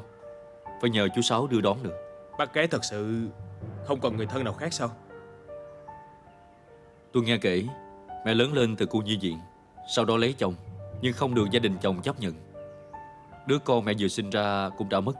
Sau đó thì chồng của mẹ cũng mất Và mẹ cũng đã gặp ba tôi Vào khoảng thời gian đó. Từ lúc tôi biết mẹ tới nay, Hầu như mẹ không giao tiếp ngoài xã hội. Mẹ thường xuyên đi chùa, Thỉnh thoảng đi thăm các cô nhi, Đi làm từ thiện Vậy thôi Cho nên khả năng mẹ có người đàn ông khác bên ngoài Là không thể. Nếu có mối quan hệ bí mật bên ngoài, Thì không đời nào bác ấy đề nghị chú Sáu đưa đón. Để thêm phiền phức. Mẹ tôi là một người phụ nữ rất đặc biệt Và rất đáng trân trọng. Mẹ không hề quan tâm tới vật chất. Chỉ xài cho bản thân cũng rất là ít ỏi.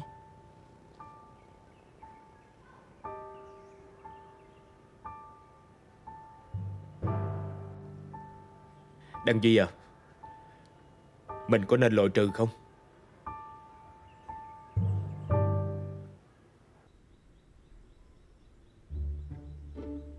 cái này vô, Rồi tới bên đây. Vậy là sắp xong một chân cò rồi.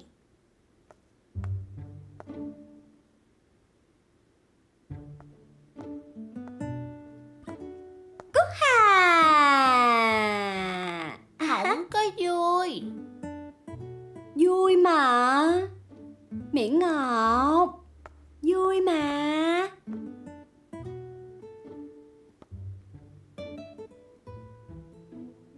Chị Thiên Kim. Chị ngồi vậy có mệt không? Chị ngồi giống em nè cho thoải mái. Chị mặc váy mà Sao ngồi dậy được? Con búp bê của em nó cũng mặc váy mà nó cũng ngồi được đó thôi. Thôi kệ chị đi. À mấy cái này em xếp đó hả? Dạ. Đẹp quá à. Em dạy cho chị xếp với nha. Chị lớn rồi thì chị phải biết xếp chứ Sao kêu em dạy Em đâu có phải là cô giáo của chị đâu. Ờ Tại đó giờ Chị chưa xếp lần nào hết Nên chị chưa có biết. Em dạy cho chị xếp đi Một lát nữa chị sẽ mua kem cho em ăn Chịu không? Em đâu phải là con nít đâu Mà chị đem đồ ăn ra dụ em. Phải rồi Con nhỏ này con quỷ chứ con nít cái gì Sao chị nhìn em như con quỷ vậy? ừ. Nhìn người khác như vậy á là không có được lịch sự á Em nghe chị Khánh Băng nói vậy đó Ờ Chị xin lỗi nha Tại chị ngạc nhiên quá à. Chị không ngờ Mỹ Ngọc lại thông minh tới như vậy luôn á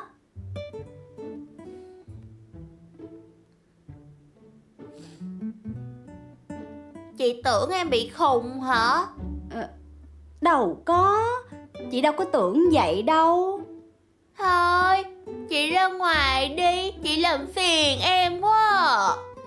Chị đi ra đi Đi ra đi. Thôi được rồi. Để chị xuống bếp Phụ dì Tư nấu đồ ăn cho em nha. Chị đi đi đi đi. Chị đi nha. Ừ.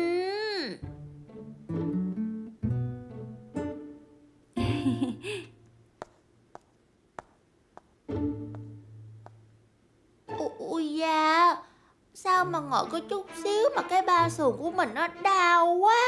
Mà chị Thiên Kim ngồi hay vậy ta? Đồ thần kinh. Chị Thiên Kim Đợi em một chút. Ừ? Đợi em. Chị nói cái gì thần kinh? Ừ, Chị đâu có nói cái gì thần kinh. Em nghe nhầm rồi đó Chị nói là chị cầu thần linh. Chị cầu thần linh phù hộ sức khỏe cho em Phù hộ cho anh hai Phù hộ cho cả nhà mình nè. Em, em hiểu không? Ờ,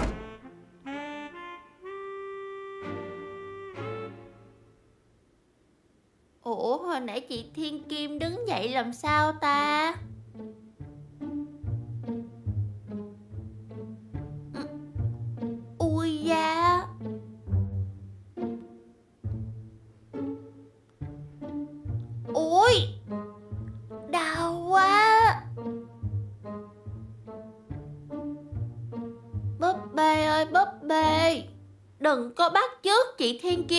Cái kiểu đó. Nó đau cái ba sườn số 15 này lắm nha.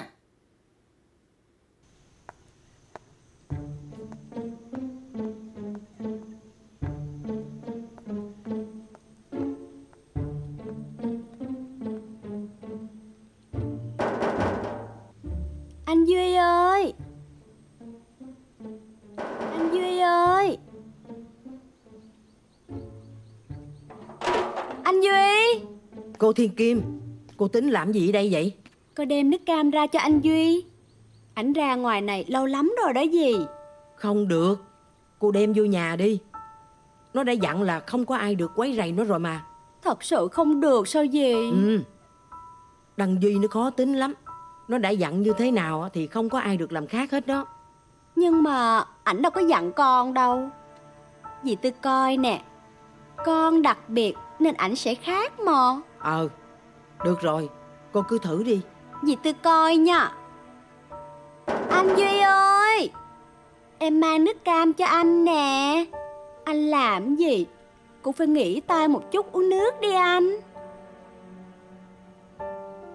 Anh Duy ơi Anh có nghe em nói gì không? Anh Duy Anh Duy anh Đó. Tôi đã nói cô rồi mà. Cô là người rất đặc biệt. Một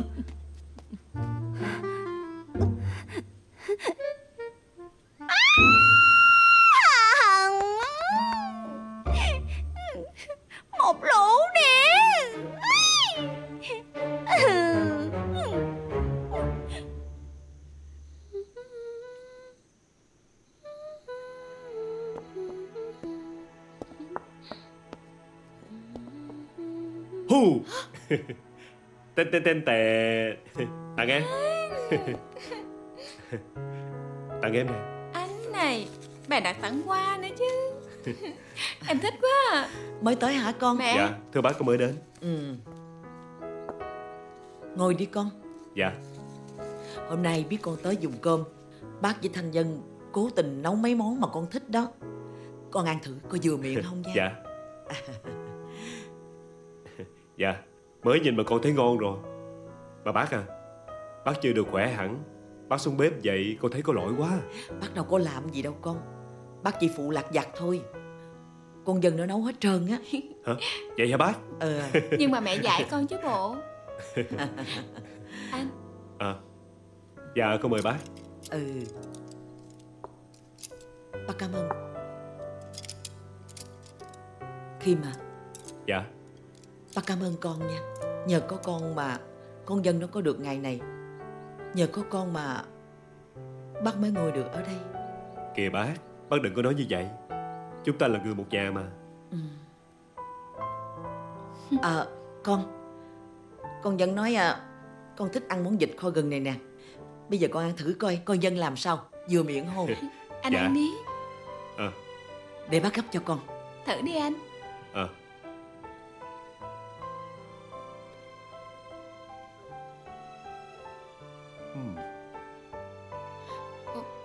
Bộ mặn hả? Sao vậy con? Ừm, Không vừa miệng hả con? Ừm. Dạ không phải. Thành phần nó ngon quá à bác? Anh này làm người ta hết hồn à. Tôi đã nói cô rồi mà cô không nghe Để tôi phụ cho. Gì nữa? Dì Tư Sao? Dì Tư thấy con còn đẹp không? Thấy Mà tôi thấy mặt cô bây giờ nhăn hơn tôi Mà tóc cô bạc hơn tôi nữa đó. Tôi xin lỗi. Dì Tư ừ? Dì Tư có biết anh đang Duy làm gì trong đó không vậy?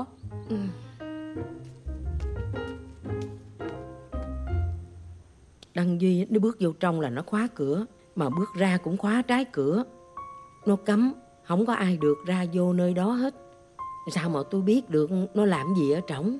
Vậy trong ngôi nhà đó Có gì vậy dì Tư? Hồi xưa là ngôi nhà này nè Là mợ chủ mẹ của Đăng Duy Để dụng cụ để vẽ tranh. Rồi từ khi mợ chủ mất rồi á Ở trong đó chỉ toàn là những đồ đạc linh tinh để vẽ tranh thôi à. Mà mấy năm nay á Đăng Duy nó không có để ai ra vô trong đó hết Cho nên tôi cũng không biết hiện nay trong đó có cái gì nữa Hay là Anh đang Duy làm việc ở trong đó? Tôi đã nói là tôi không biết rồi mà. Cũng có thể lắm á. Dì Tư nè Mỹ Ngọc á Suốt ngày trong phòng vậy hả? Không đâu. Hồi trước á Mỹ Ngọc cũng vui vẻ lắm. Thường hay xuống nhà xuống bếp chơi với tôi. Rồi hả tôi rảnh á Thì nó đòi đi công viên đi siêu thị. Nhưng mà Từ lúc cậu chủ mất á Rồi tới ờ, cô Khánh Băng. Mỹ Ngọc Nó không có còn như trước nữa. Tôi có dỗ mấy Nó cũng không chịu ra ngoài chơi. Phải có cách nào đó. Chứ để vậy lâu ngày Bệnh của Mỹ Ngọc sẽ nặng thêm đó gì. Ừ, tôi cũng biết vậy. Nhưng mà tôi hết cách rồi. Tôi cũng không dám than phiền với Đăng Duy. Thật sự tôi biết thời gian này nó cũng buồn dữ lắm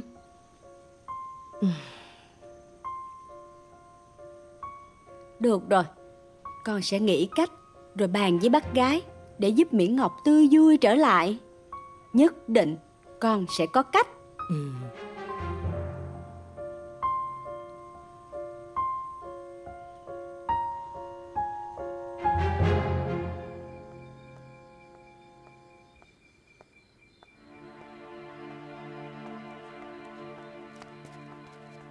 Chị Tư? Dạ, dạ mời Tôi đi chủ. chùa nghe chị Tư. Dạ. Để để tôi kêu anh Sáu lấy xe nha mợ chủ. Thôi khỏi Anh đang chờ tôi trước cửa đó. Dạ.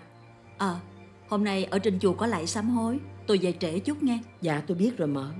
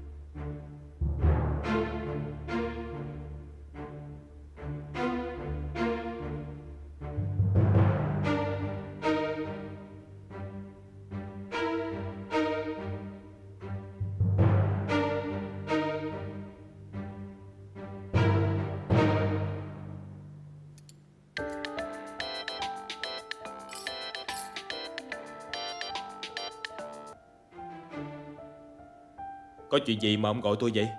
Ông tới nhà tôi liền nha. À được rồi. Tôi tới liền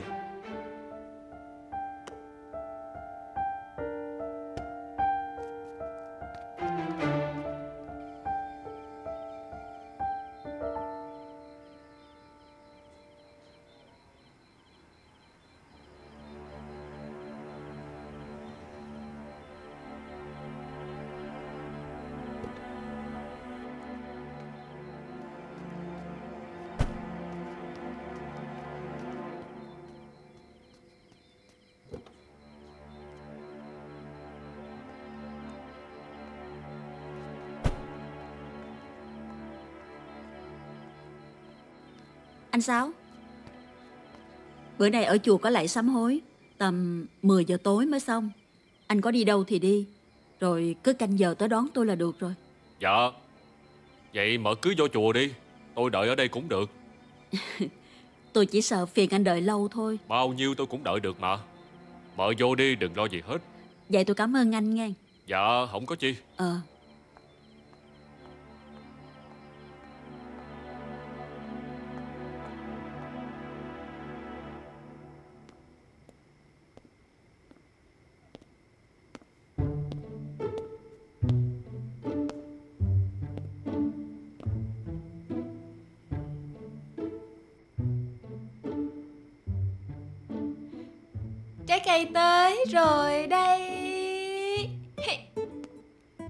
nghĩ tới ngày nào mà đi làm về á Cũng có cơm nước Dọn sẵn Rồi được cô nàng xinh đẹp dễ thương như vậy chăm sóc. Trời ơi thích gì đâu luôn á. Cứ nôn nao như thế nào không biết. Hay là mình cưới nhau đi. Ừ. Ừ. Anh này Em không biết đâu. Em Hay là để anh đi vô trong xin phép mẹ Cho mình cưới nhau luôn được không được đâu mà. Tại sao vậy? Ừ. Em muốn mẹ phải thật khỏe mạnh Em muốn mình có việc làm ổn định Trước khi lấy chồng. Sao Sao anh không nuôi nổi em hả? Nổi. Em biết anh thừa sức nuôi nổi em. Nhưng mà Em đâu phải là con chó kiển đâu mà để anh nuôi. Tự dưng Với mình như con chó kiển Kỳ vậy Em học hành vất vả bao nhiêu năm? Phải để em đi làm thì mới xứng đáng chứ. Được. Nếu vậy sáng mai Hãy đưa hồ sơ cho anh Rồi tuần sau vô công ty của anh làm việc Được chưa Không. Em không thích. Em muốn xem thử thực lực của mình tới đâu Không muốn dựa dẫm vô anh. Em sai rồi. Cho dù anh đưa em vô công ty Nhưng nếu em không đủ thực lực Chắc chắn em sẽ bị đào thải. Vậy nha. Rồi đưa hồ sơ cho anh Ừ. Lúc này em chưa thể đi làm được. Ừ cũng phải. Vừa mới học xong Em cũng nên dành một ít thời gian cho bản thân của mình nữa. Bất cứ khi nào em muốn Sẽ có chỗ tốt cho em làm. Không phải chuyện đó. Ừ? Chứ chuyện gì? Mẹ em đòi về quê. Hôm qua đi tái khám Bác sĩ nói sức khỏe của mẹ hồi phục rất là tốt Bây giờ chỉ cần làm đúng theo lời bác sĩ dặn là được. Cho nên mẹ nhất định đòi đi về. Vậy bây giờ em tính sao? Hay là Để anh vô năn nỉ mẹ hả? Ơ thôi Không được đâu Vô ích lắm. Em hiểu mẹ em mà. Xa nhà Xa mồ mã của ba Xa bà con lối sớm Là mẹ em buồn dữ lắm. Tại do hoàn cảnh đau bệnh Mà thời gian qua Mẹ em phải cắn răng chịu đựng đó Bây giờ mẹ khỏe rồi. Có nói gì á thì mẹ cũng không nghe đâu. Sống ở đây tù túng như vậy Thêm nỗi nhớ nhà Có khi mẹ sẽ bị tâm bệnh Còn nguy hiểm hơn nữa.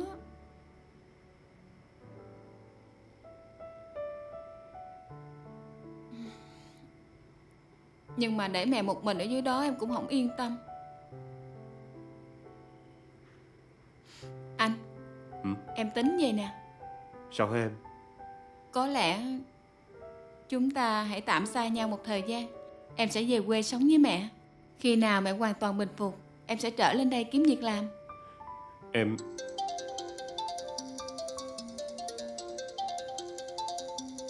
Anh nghe điện thoại Ừ.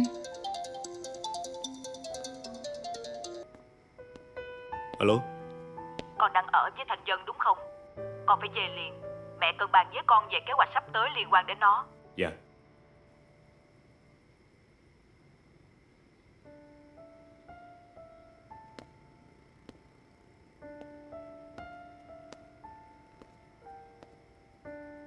Em à Chuyện em vừa nói á Nên suy nghĩ lại. Ngày mai chúng ta sẽ bàn bạc tiếp. Còn bây giờ Anh có việc quan trọng phải đi liền. Tối như vậy rồi Vẫn phải làm việc hả? Anh đã nói với em rồi mà Em phải tập làm quen với những tình huống như thế này. Em chỉ hỏi vậy thôi chứ em hiểu mà.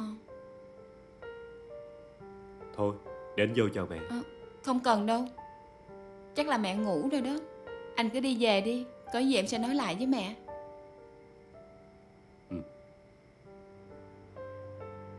Em à. Ừ? Sao vậy? Có mẹ mà.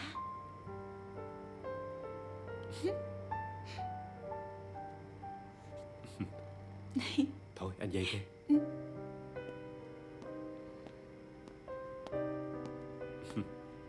Bye em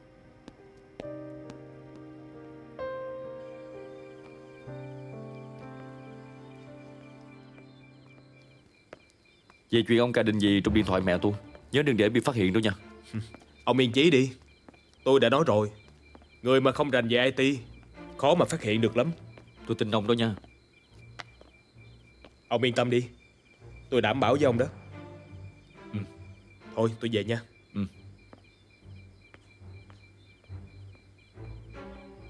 Xin lỗi mẹ.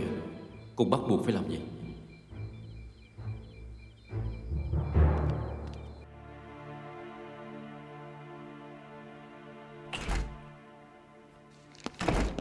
Chào chú. Khốn kiếp. Coi đi. Những dự án mà thành công nhắm tới Đều bị phát đạt cướp tay trên. Tôi không cam tâm mà. Cậu làm gì thì làm. Nhất định phải khiến cho phát đạt xính nhính với tôi. Dạ Cháu sẽ cố gắng hết sức. Nhưng nếu muốn hạ phát đạt Thì không dễ dàng chút nào đâu.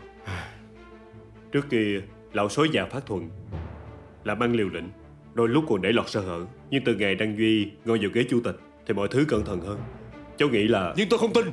Một doanh nghiệp lớn như phát đạt Mà không có một điều gì khuất tất Cậu phải tìm cho ra Rồi khuấy nó lên Càng đốt càng tốt cho tôi. Mà cho dù không tìm ra Thì cậu phải dựng ra. Cậu hiểu ý tôi chứ? Dạ cháu hiểu. Hiểu thì tốt. Cậu cứ làm gì cần làm đi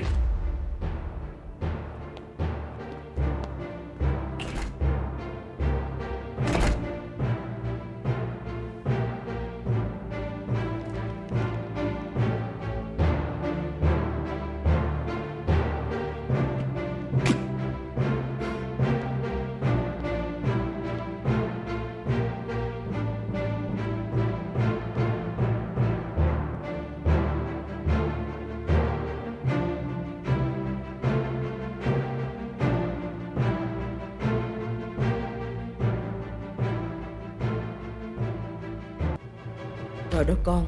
Con coi coi có đẹp không? Con cảm ơn dì Tư. Ừ.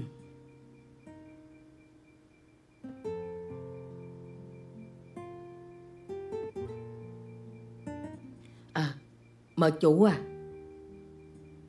Tôi thấy bên nhà Khánh Băng đã có ý nghĩ không tốt về mối quan hệ của Đăng Di với Thiên Kim rồi. Vậy mà lúc này cô Thiên Kim á cứ thường xuyên tới nhà mình hoài à. Thiệt tôi thấy không hay chút nào hết trơn á.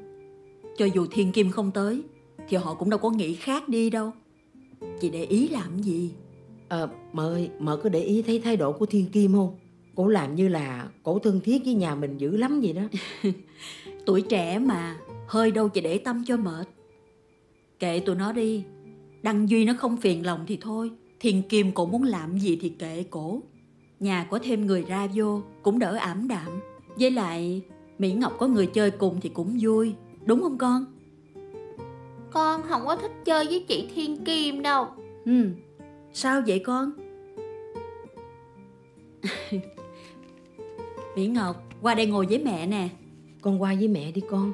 Tóc còn rối rồi kìa Qua đây mẹ thắt lại cho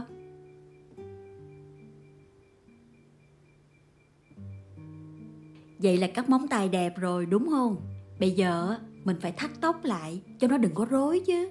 Làm như vậy nó mới đẹp, đúng không? Con gái của mẹ là phải luôn luôn đẹp nè. Mà sao con buồn hoài vậy? Phải ráng vui vẻ lên chứ con. Dì Tư ngồi đi Dì cảm ơn con Mẹ Dì Tư Hôm nay con có chuyện muốn thưa với hai người. Là chuyện gì hả con? Trước tiên con xin thưa với dì Tư. Trước giờ gia đình con Luôn xem dì Tư như là người trong nhà Cho dù di chúc ba con để lại không có căn dặn. Con vẫn lo liệu cho dì thật chu toàn. Ừ. Dì Tư không cần phải lo cho quãng đời sau này của mình nữa. Tuy là dì không chồng con Nhưng vẫn còn họ hàng. Nếu như dì Tư cần bất cứ chuyện gì Con xin dì đừng ngại Hãy nói cho con biết con sẽ giúp dì Tư trong khả năng con làm được. Thí dụ như Dì Tư cần một số tiền để làm lại mồ mã cha mẹ ông bà. Dì, dì rất xúc động khi nghe con nói những cái lời này. Dì cũng biết ơn con đã lo cho dì. Nhưng dì Tư không có cần cái gì đâu con. Mấy chục năm qua sống trong căn nhà này Mọi thứ đều được ba mẹ con bao bọc. Lương tháng dì Tư đều gửi hết về quê. Mồ mã của ba mẹ dì cũng được ba mẹ con xây cất chu toàn rồi. Bây giờ dì chỉ mong có thật nhiều sức khỏe Để tiếp tục chăm sóc mợ chủ. Với lại chăm sóc hai anh em con là dì Tư vui rồi. Dạ. Vậy à, khi nào cần gì Dì cứ nói cho con biết nha. Ừ, được rồi con, cảm ơn con. Dì nhớ rồi. Mẹ Chắc có lẽ là ba con biết Anh em con thương yêu và kính trọng mẹ Không khác gì mẹ ruột. Ba biết là anh em con sẽ không để mẹ phải vất vả Hay thiếu thốn khi tuổi về chiều. Cho nên là ngoài căn nhà đó Ba không để lại gì cho mẹ. Mẹ đã nói rõ rồi. Với mẹ, như vậy là quá nhiều rồi. Không Con thấy như vậy là thiệt thòi cho mẹ. Con sẽ chuyển giao 2 phần 10 số cổ phần trong tay của con cho mẹ.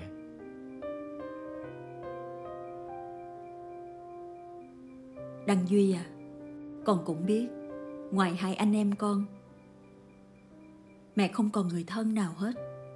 Anh em con thương mẹ, không đuổi mẹ ra đường. Như vậy là đủ rồi.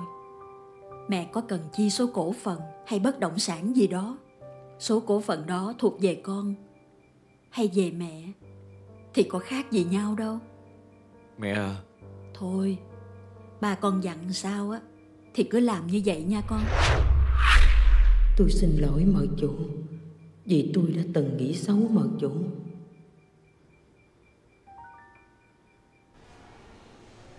Đó, con nhìn kìa, người ta bán nhiều đồ đẹp ghê chưa? Con thích cái gì mẹ mua cho con nghe. Đi, mẹ dẫn con tới đằng kia. Đằng kia bán nhiều thứ đẹp hơn kìa. Dạ Ủa Mỹ Ngọc Chị đẹp chị đẹp Nhớ em không? Chị nhớ ra em không? Nhớ em không? Con vịt đó Con vịt đó.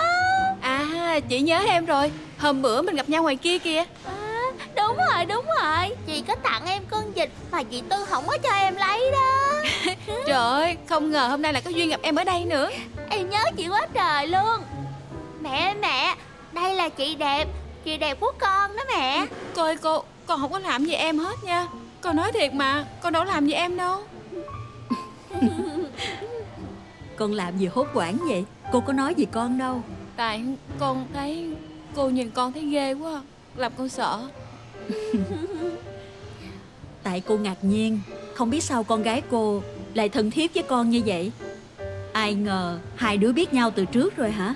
Dạ biết chứ biết chứ Đây là chị đẹp của con đó Chị đẹp tặng cho con con vịt Mà dì Tư không có cho lấy Ủa Nay con vịt của chị đâu rồi ừ, Chị để ở nhà cho nó ngủ rồi Hôm bữa tụi con gặp nhau cũng ở siêu thị này nè bác Ừ hứ. Thì ra là vậy. Thôi, mình qua đó uống nước đi nha con. Dạ um, Đi Đi con. đi chị đi Dạ Ngon không chị Ừ, ngon thiệt. Ngon quá Rất ha ngon. Em thích uống cái này lắm á Cô cảm ơn con nghe. Mỹ Ngọc hôm nay nó vui là nhờ gặp con đó. Con có làm được gì cho em đâu mà cô cảm ơn con. Cô Bộ um, Em Mỹ Ngọc Bị bệnh từ nhỏ hả cô? Không. Hồi nhỏ Con bé rất thông minh Rất kháu khỉnh. Lúc 5 tuổi Sau một tai nạn Em nó mới bị bệnh Uống đi chị Coi chừng nó tan đau Uống đi. Ừm, Con đi nãy giờ cũng đã lâu rồi. Con xin phép cô con về Để hông mẹ con trông. Vậy à Dạ. Ừm, Chị về nghe Mỹ Ngọc Chị về hả? Ừ. Sao nhanh quá vậy? Mà chị về hả? Vậy thôi chị cầm ly nước theo về uống đi. À. Không có được bỏ mớ đâu Vậy là không có tốt Mai mốt chị rảnh á Chị ghé nhà em chơi nha. Nhà em có nhiều đồ ăn ngon lắm á Với lại có nhiều đồ chơi lắm. Ừm. Được Mai mốt chị rảnh chị sẽ tới nhà chơi với em nha. Dạ. Thôi được rồi Con về cẩn thận nghe Có duyên mình sẽ gặp lại. Dạ. Bye bye chị Về cẩn thận nha. Chị về Có duyên nha. thì mình sẽ gặp lại nhau. Có duyên mà. Con Bye về nha cô bye. Bye. Bye bye chị Uống nước đi mẹ Uống nước đi. Ngọc à Con thích chị đẹp lắm hả? Dạ thích Thích chứ Thích lắm lắm lắm luôn. Chị đẹp Và con dịch xấu xí. Ờ.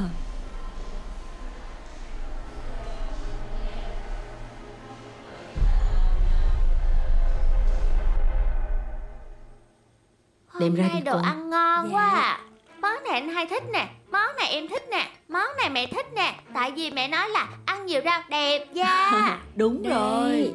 Đây là món anh thích nhất nè. Em đặc biệt làm riêng cho anh đó. Em cũng thích nữa. Ủa vậy hả? Dạ. Vậy thì lần sau chị sẽ làm nhiều hơn nữa ha. Hỏi.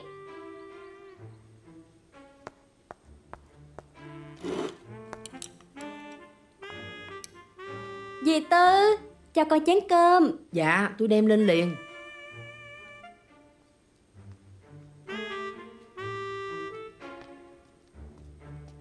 Cơm của cô. Dạ con cảm ơn. Dì Tư à? Dạ. Từ nay à, bữa sau á Dì cứ đem cơm lên đây đi. Ai muốn ăn á thì à, tự bới thôi. Dì lớn tuổi rồi Không cần phải đi tới đi lui nữa đâu. Ờ dì Tư biết rồi. Dạ Thôi mình ăn cơm nha. Con mời mẹ ăn cơm Mời anh hai ăn cơm Mời chị ăn cơm. Con mời mẹ ăn cơm. Ừ. Nè anh ăn đi. Cái đó Con ngon ăn lắm cái này. Con mời bác ăn cơm. Ừ mời con. Sao chị không Dạ. mời em ăn cơm? À, Mời Mỹ Ngọc ăn cơm nha. Dạ.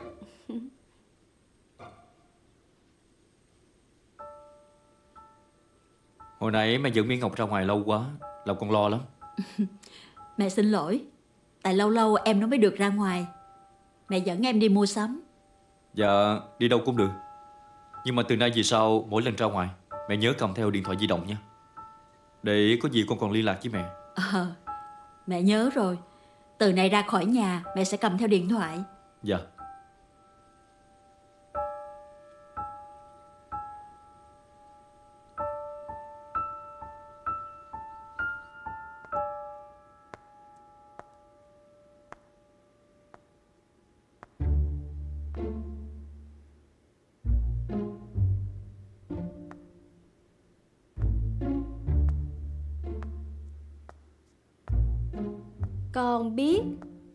Tại sao tâm trạng của Mỹ Ngọc không được tốt rồi?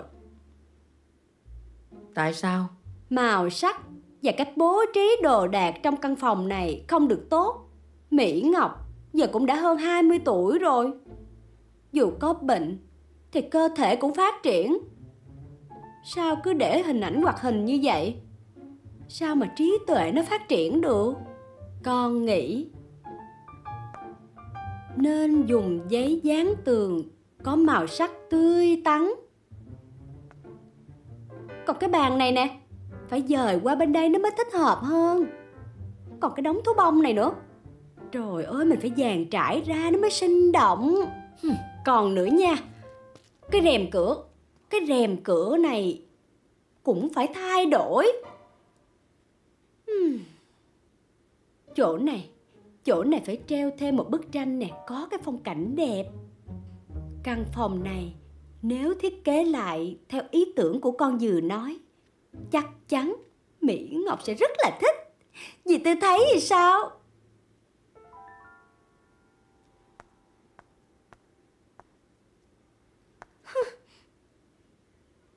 Gì vậy?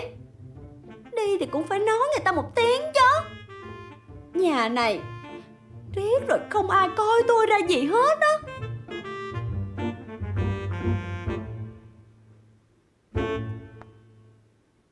Nhìn cái gì? Nhìn cái mặt là thấy rất là kỳ rồi đó. Hi!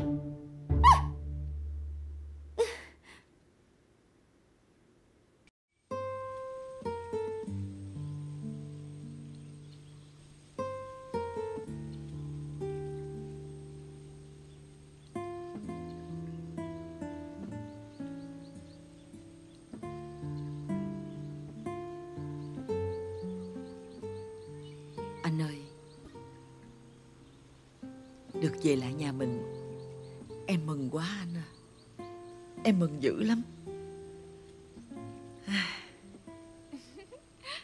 Anh coi nè Em hái được nhiều chứ nè.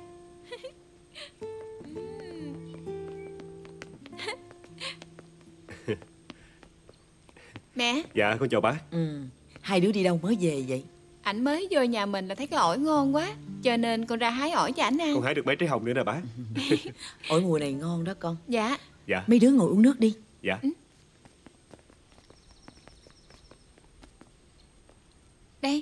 Mẹ để con rót cho mẹ.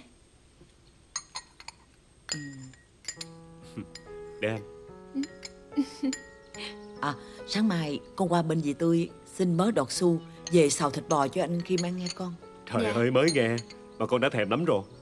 Nhưng mà tiếc quá à. Chắc là con phải về Sài Gòn. Lần sau con xuống con ăn nha bác. Về Sài Gòn liền hả con? Dạ. Tại có một số việc quan trọng Cần con về giải quyết. Ừ. Bác biết con bận rộn Nên không dám cầm con ở lại Cảm ơn con Đã lo cho bác mọi thứ. Bận rộn vậy Còn đưa mẹ con bác về tận đây luôn. Dạ không có gì đâu bác. Bác nhớ nghỉ ngơi giữ gìn sức khỏe. Ừ. Dân à Dạ. Con có đi thì đi chung với cậu Khiêm luôn đi. Đừng có lo cho mẹ. Về tới nhà là mẹ khỏe liền à. Đâu có được. Còn phải ở lại đây một tuần Để coi coi sức khỏe của mẹ sao cái đã. Chứ đợt sau con lên Sài Gòn Con sẽ đi tìm việc làm. Con mà đi làm rồi con sẽ ít về đây thăm mẹ lắm á Không có sao đâu mà con. Thời buổi giờ có điện thoại Nói chuyện mỗi ngày được mà. Ừ. À Anh ở lại đây tí xíu nữa đi. Để con qua nhà dì Tươi. Con xin một ít đọt su nè Đọt lan nè Rồi một ít garon nữa. Để cho anh ấy mang về. À đúng rồi đó con. Mùa này á, đọt su non lắm. Dạ Để anh đi với em. Ừ. Con xin phép bác Ừ. Con đi nha bác. Con đi nghe mẹ. Mình đi. Nhanh lên. Nè Chờ anh với. Hai đứa thiệt xứng đôi. Con gái mình thiệt là may mắn đúng không anh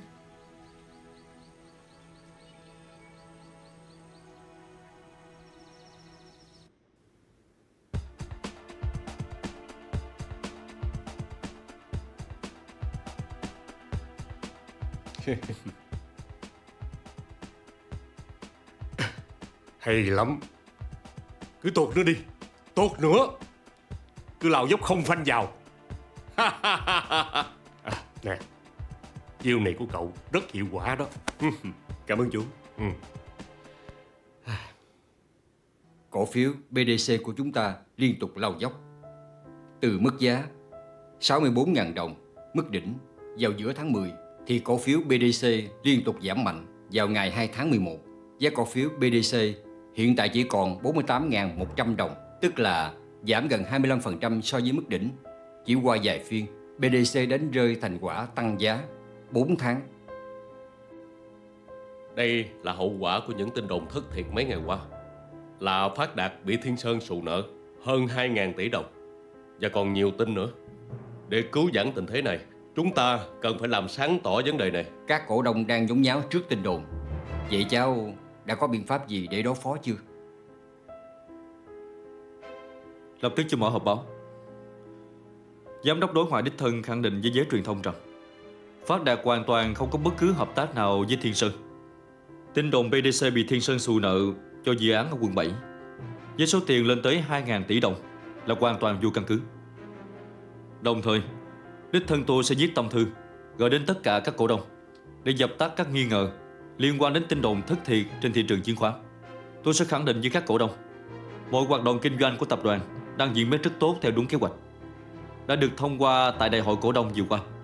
Cho đến nay, không có bất cứ yếu tố gì có thể tác động bất lợi ảnh hưởng đến kết quả kinh doanh hiện tại của tập đoàn. Con thấy Chú như thấy vậy cứ làm cũng như đúng lời. Đăng Duy nói Cuộc họp kết thúc, giải tán cuộc họp. Thiên Kim, cô chuẩn bị các thứ giùm tôi nha. Dạ.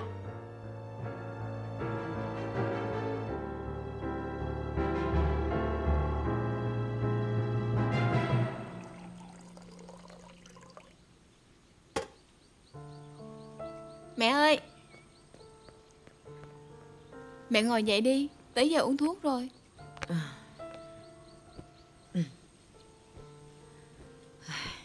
Mẹ đâu phải là con nít đâu con. Mẹ tự làm được mà. Tự cái gì mà tự không biết nữa. Nè mẹ cầm giùm con đi. Nè mẹ thấy không? Bây giờ con đã để hết sẵn ở trong này rồi nè. Nè sáng, trưa, chiều, tối Mẹ cứ theo như vậy mà uống nha. Mẹ phải nhớ á, Mẹ ơi Phải uống đúng giờ Phải đều đặn mỗi ngày nghe mẹ. Mẹ biết rồi dặn hoài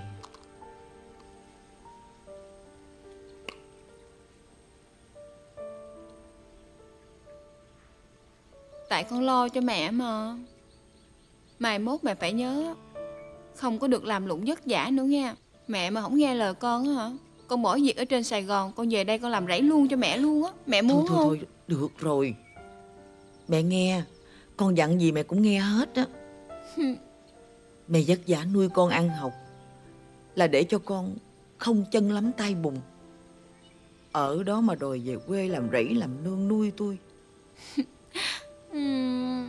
Hờ, Con thương mẹ quá à. Con không muốn xa mẹ chút xíu nào luôn á. Mà mẹ thì lại không chịu lên Sài Gòn ở chứ con. Con ghét mẹ ghê luôn. Mẹ không quen cuộc sống thành phố mà. Dân à Con đừng lo cho mẹ nữa. Có chuyện gì vậy chị? Từ từ từ từ. Tên tên. Em nhìn đi. Thấy cái gì đâu mà nhìn. À, Ờ, chị quên Rồi, bây giờ em nhìn đi. Em có thích không? Hôm nay chị chỉ thay đổi một chút xíu thôi. Vài bữa nữa, chị kêu thợ tới thay đổi toàn bộ căn phòng cho em. Đảm bảo em sẽ rất là thích.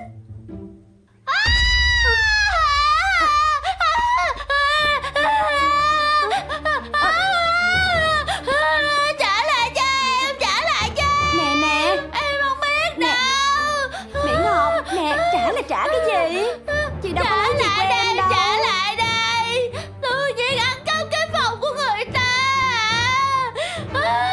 Nè. Mỹ Ngọc Mấy cái này á Chị xếp lại vậy Chị thấy đẹp hơn mà. Em để hết trong góc đâu có đẹp đâu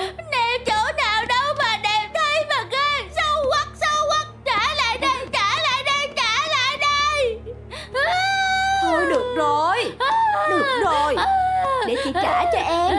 Chịu chưa? Đồ ăn cắp, ăn cắp cái phòng của người ta đi mét gì tư Gì tư ơi Ăn cắp cái phòng của người ta kìa. Cái phòng của người ta mất tiêu rồi. Thiệt là uổng công của mình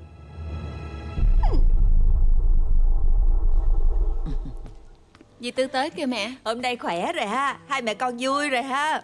Đói bụng chưa? Chờ chút xíu đi. Tôi xuống tôi nấu nhanh lắm. Đợi xíu nghe Ờ, Dạ. Ồ, Nè con. Sao dì Tư nấu cơm cho mình vậy con? Con nhờ dì hả?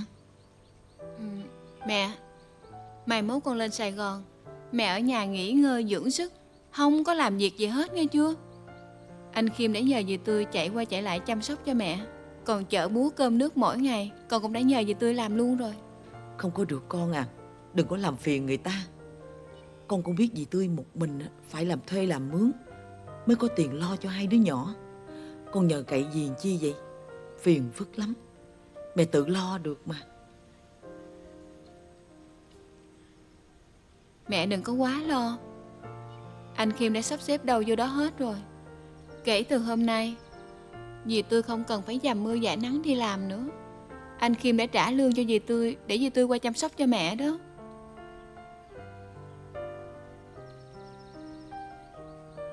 Thạch Dân à Mẹ con mình nợ cậu Khiêm quá nhiều rồi. Thêm chuyện này nữa Mẹ thấy kỳ cục lắm con ơi. Mới đầu con cũng không muốn vậy đâu. Nhưng thiệt tình Nếu mẹ ở đây một mình Ít nhất cũng phải về đây sống với mẹ một vài năm.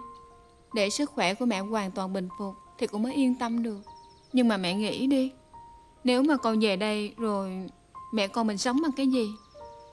Con thì không quen với chuyện nương rẫy. Mẹ, Con nghĩ kỹ rồi. Anh Khiêm thiệt lòng thương con, Mà con con cũng thiệt lòng thương ảnh. Con không hề có ý định lợi dụng với ảnh hết. Rồi tụi con sẽ cưới nhau. Con sẽ hết lòng yêu thương Hết lòng chăm sóc cho ảnh Để bù đắp lại ân tình của ảnh. Ừ. Cho nên Nên mẹ cũng đừng có băn khoăn gì hết nghe mẹ. Con nói đúng. Mình đã nợ cậu Khiêm quá nhiều rồi. Phải ráng đền đáp cho cậu ấy nha con Dạ. Mai này con đi làm Bước chân ra đời có nhiều cám dỗ. Cũng gặp được nhiều người hơn. Con đừng vì bất cứ lý do gì Mà phụ bỏ tình cảm của cậu Khiêm nha con. Mẹ nghĩ đi Trên đời này có người nào thương con? Đối xử tốt với mẹ con mình như vậy chứ. Ừ. Mà cho dù có Con cũng nhất định không thay lòng Mẹ phải tin vào con gái của mẹ chứ Tin Mẹ tin con gái của mẹ.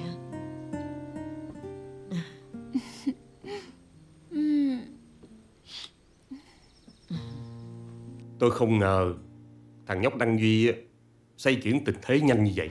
Sau những nỗ lực đính chính thông tin của nó, thị trường đã phản ứng tích cực trở lại với PDC. Chỉ nhờ vào bức tâm thư kịp thời của nó đã cứu vãn được nguy cơ hàng trăm tỷ đồng tài sản bốc hơi theo tin đồn. Nhưng dù sao thì Phát Đạt cũng bị hụt hơi trong vụ này. Đã có kế hoạch của các nhà thầu phụ chưa? Dạ, cô Tâm đang thống kê. Lát nữa có, cháu sẽ trình lên chú. Ừ.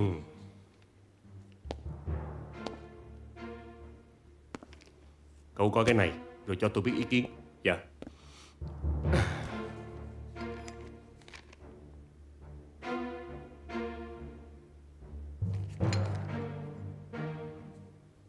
Phải chi mà cậu ta được như Đăng Duy thì tốt biết mấy.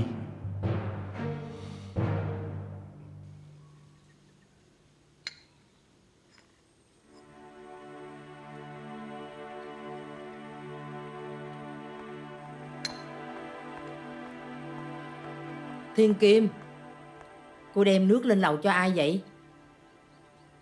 Con đem lên cho anh Đăng Duy. Ơ Nè Đăng Duy có biểu cô đem lên không Ừm, Không. Nhưng mà con thấy á Ảnh vô phòng cũng lâu lắm rồi Chắc là ảnh cũng khát nước. Con cố tình chọn những trái cam ngon nhất Để ép cho ảnh uống đó gì Tư. Tôi khuyên cô đó Đừng có làm phiền nó. Tánh Đăng Duy trước giờ nó vẫn vậy mà. Nó mà đang làm việc ở trong phòng á Thì nó không muốn ai quấy rầy nó hết. Chừng nào nó cần cái gì thì nó sẽ gọi. Nhưng mà có thể ảnh sẽ nể mặt con. Ở công ty á con vẫn thường lo những chuyện này cho ảnh mà. Dì Tư cứ yên tâm, ha. Ừ.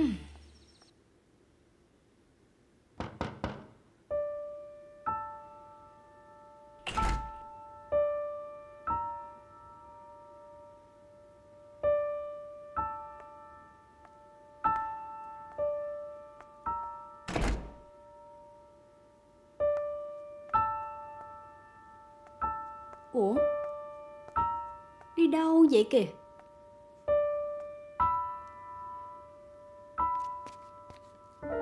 Ai cho phép cô vô đây. Anh làm em hết hồn à. Em mang nước cam vô cho anh nè. Đi ra ngoài đi. Ra thì ra Nhưng ít nhất á Anh cũng phải biết tại sao. Em phải xấu mặt đi vô đây Để anh xua đuổi em như đuổi tà vậy chứ. Có chuyện gì sao không nói công ty. Vì đây là chuyện cơ mật Chỉ anh và em biết thôi Nên Là chuyện gì? Cô nói nhanh đi rồi đi ra ngoài. Là những bức tâm thư Để cứu vãn tình hình của công ty mình hiện nay. Là công lớn của em Mà sao không nghe anh khen em tiếng nào hết vậy.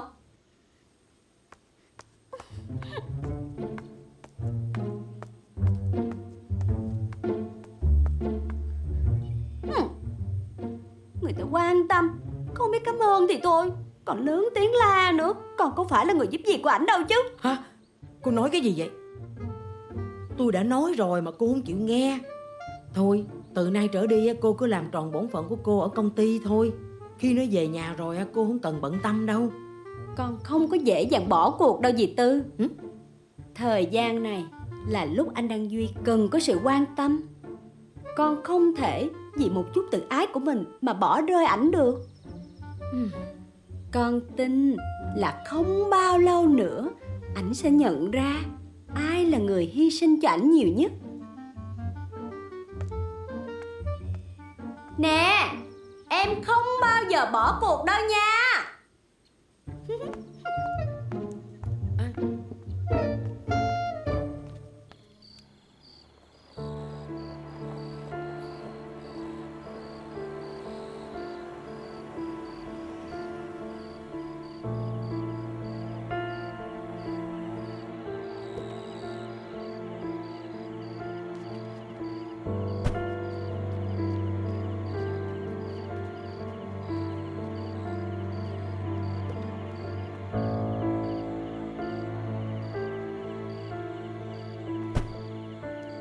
Anh có đi đâu thì cứ đi đi.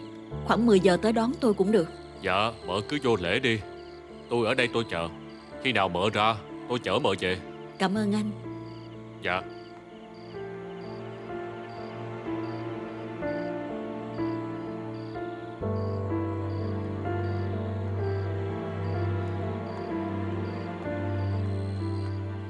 Ông có tìm thấy điểm nào đáng nghi ngờ hay không?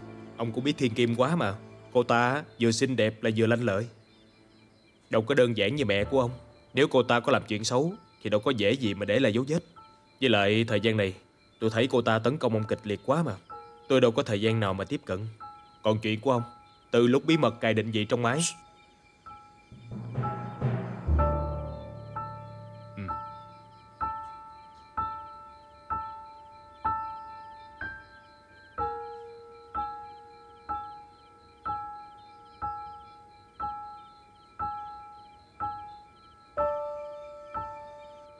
Nhiều lúc ừ, tôi cảm thấy rất có lỗi với mẹ tôi.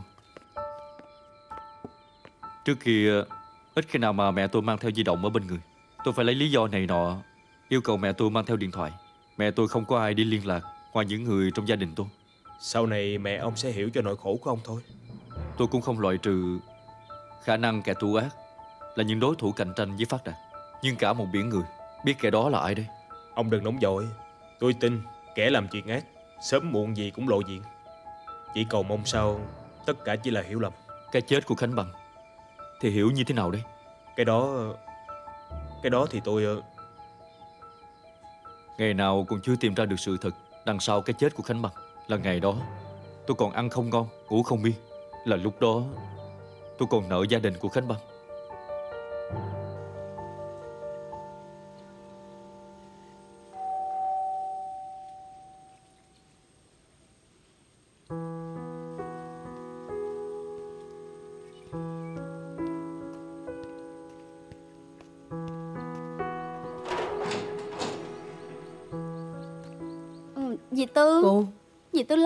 vậy? Cô mỏi chân quá rồi nè. Ừ, Mà anh Duy có nhà không dì Ờ, tiếc quá à. Ờ, Đăng Duy vừa mới đi đó cô. Ảnh mới đi hả? Ừ. Nhưng mà dì Tư có biết là ảnh đi đâu không? Đăng Duy à, đi thăm mộ Khánh Băng.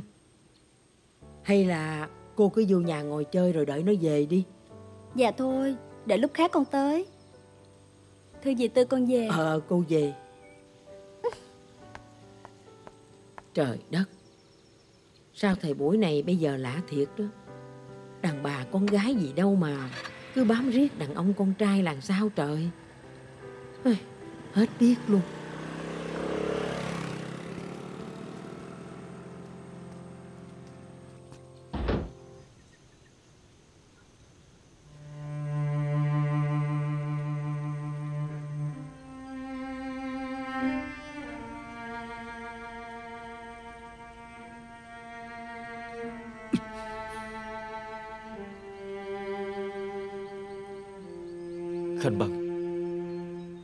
Anh tới thăm em đây. Biết em thích cúc quả mi Nhưng anh lại đem qua hồng trắng tới. Em có giận anh không?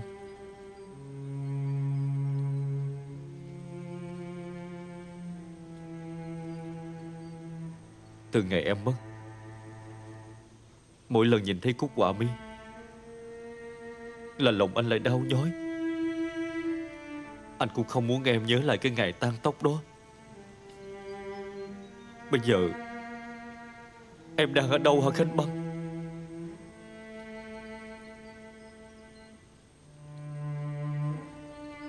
Cho dù em ở đâu, Thì em cũng phải thật vui vẻ, Thật xinh đẹp nghe em.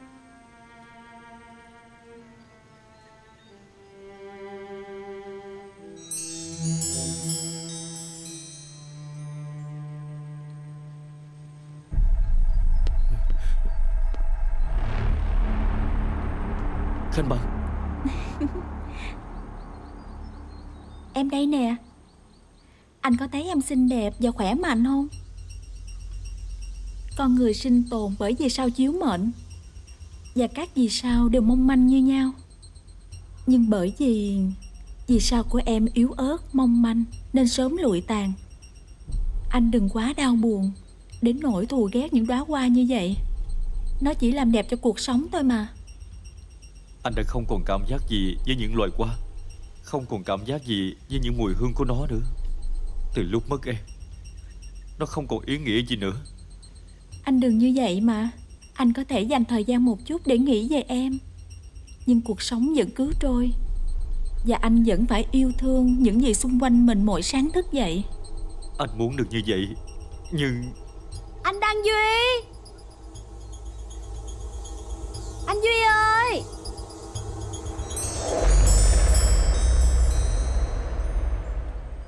Khánh Băng Anh tìm gì vậy? Em đây nè. Sao cô lại tới đây? Em với Khánh Băng Tuy không phải là bạn bè Nhưng đã từng quen biết. Thỉnh thoảng em đến thăm cổ Cũng là chuyện nên làm mà. Nhưng đáng ra Cô không nên tới khi có mặt tôi. Sao vậy? Anh sợ cái gì chứ? Anh sợ người chết ghen Hay anh sợ người sống Hiểu lầm Rồi dị nghị này kia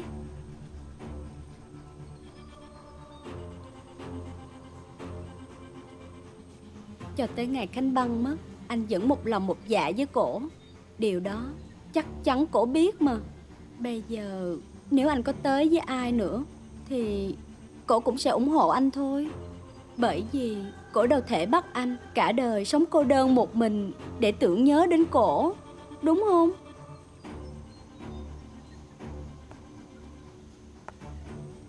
Còn với người ngoài, Anh không có lỗi làm gì hết. Tại sao phải sợ? Trừ khi Chỗ này của anh Cũng đã có đôi lần rung động vì em. Tôi cấm cô ăn nói hồ đồ. Tôi cũng cấm cô từ nay không được đi theo tôi tới đây nữa. Cô nghe rõ chưa? Hả? Hai người Đang giở trò gì trước mặt chị hai tôi vậy? Ờ Khánh à Em Em hiểu lầm rồi. Hiểu lầm sao Hai người đẩy chị tôi tới cái chết. Mà còn chưa vừa lòng hay sao? Còn dẫn nhau tới đây Để cười nhạo chị tôi hả? Thiệt là quá đáng. Đi Đi khỏi đây Đi khỏi đây cho tôi. Khánh Hà Cô nói chuyện lý lẽ một chút đi. Tụi tôi chỉ tới thăm chị cô thôi mà. Với lại cô lấy quyền gì mà xua đuổi người khác chứ? Cô Khánh Hà Em nghe nói đây. Tôi không nghe Tôi không muốn nghe có những chuyện Tạm thời anh không thể nói rõ với em. Nhưng anh xin em Em hãy tin anh. Khánh Bằng là người duy nhất trong lòng của anh. Một ngày nào đó, Anh sẽ làm rõ mọi chuyện. Còn cái gì mà không rõ nữa chứ?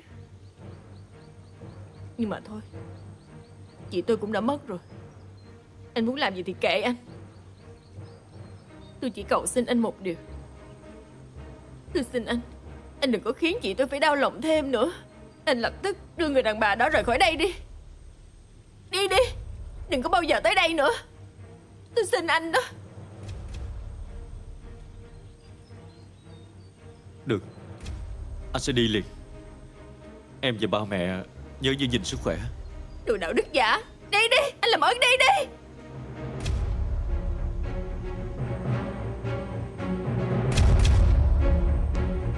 Anh.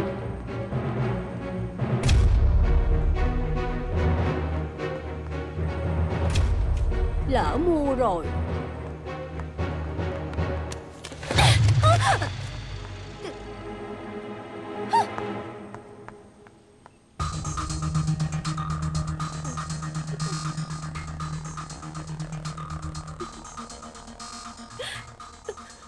Chị hai ơi. Người chị tội nghiệp của em ơi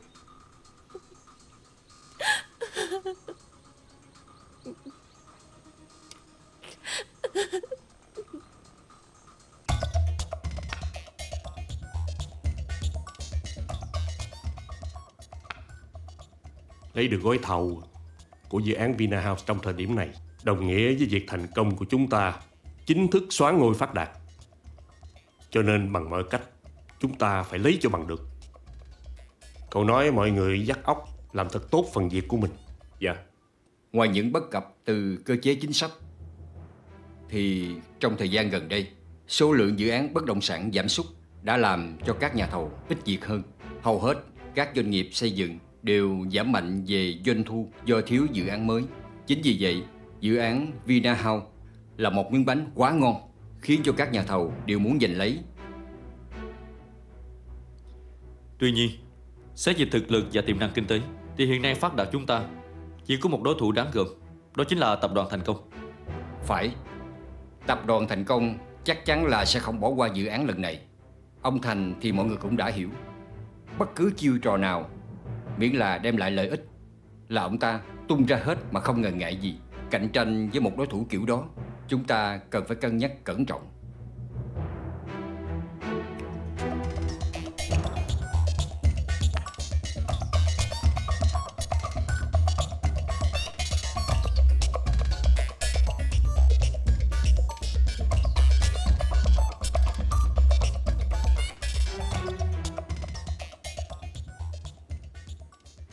Cậu nhìn thấy tòa nhà này không?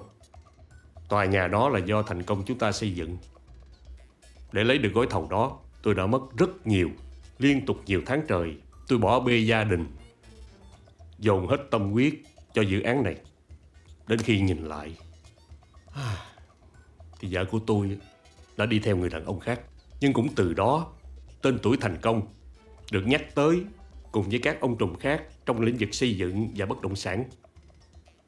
Bất cứ thành công nào đều cũng phải trả giá. Thành công càng lớn, cái giá phải trả thì càng cao.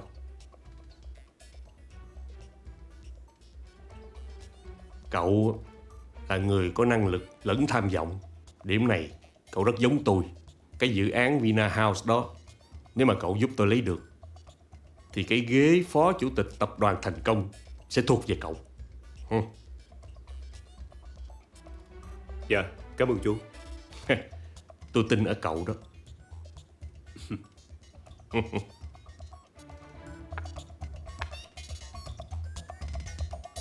Tôi thắng rồi.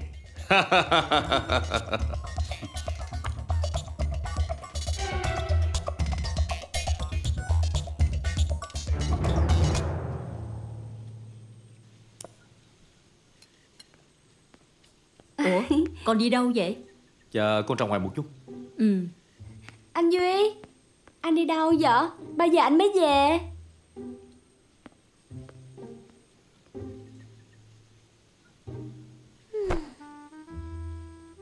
Uổng công con cố tình tới sớm. Còn mua sẵn đồ để lát nữa nấu cho ảnh ăn. Vậy á, mà bỏ đi mất. Không thèm nói với con lời nào. Cũng không biết khi nào mới về nữa. Tánh lý Đăng Duy á, bây giờ nó như vậy đó Tôi đã nói cô rồi, mà cô đâu có nghe. Thôi kệ nó đi con. Nó ra ngoài, còn đỡ hơn là ở nhà. Mà cả ngày nhốt mình trong căn nhà nhỏ ở sau giường á.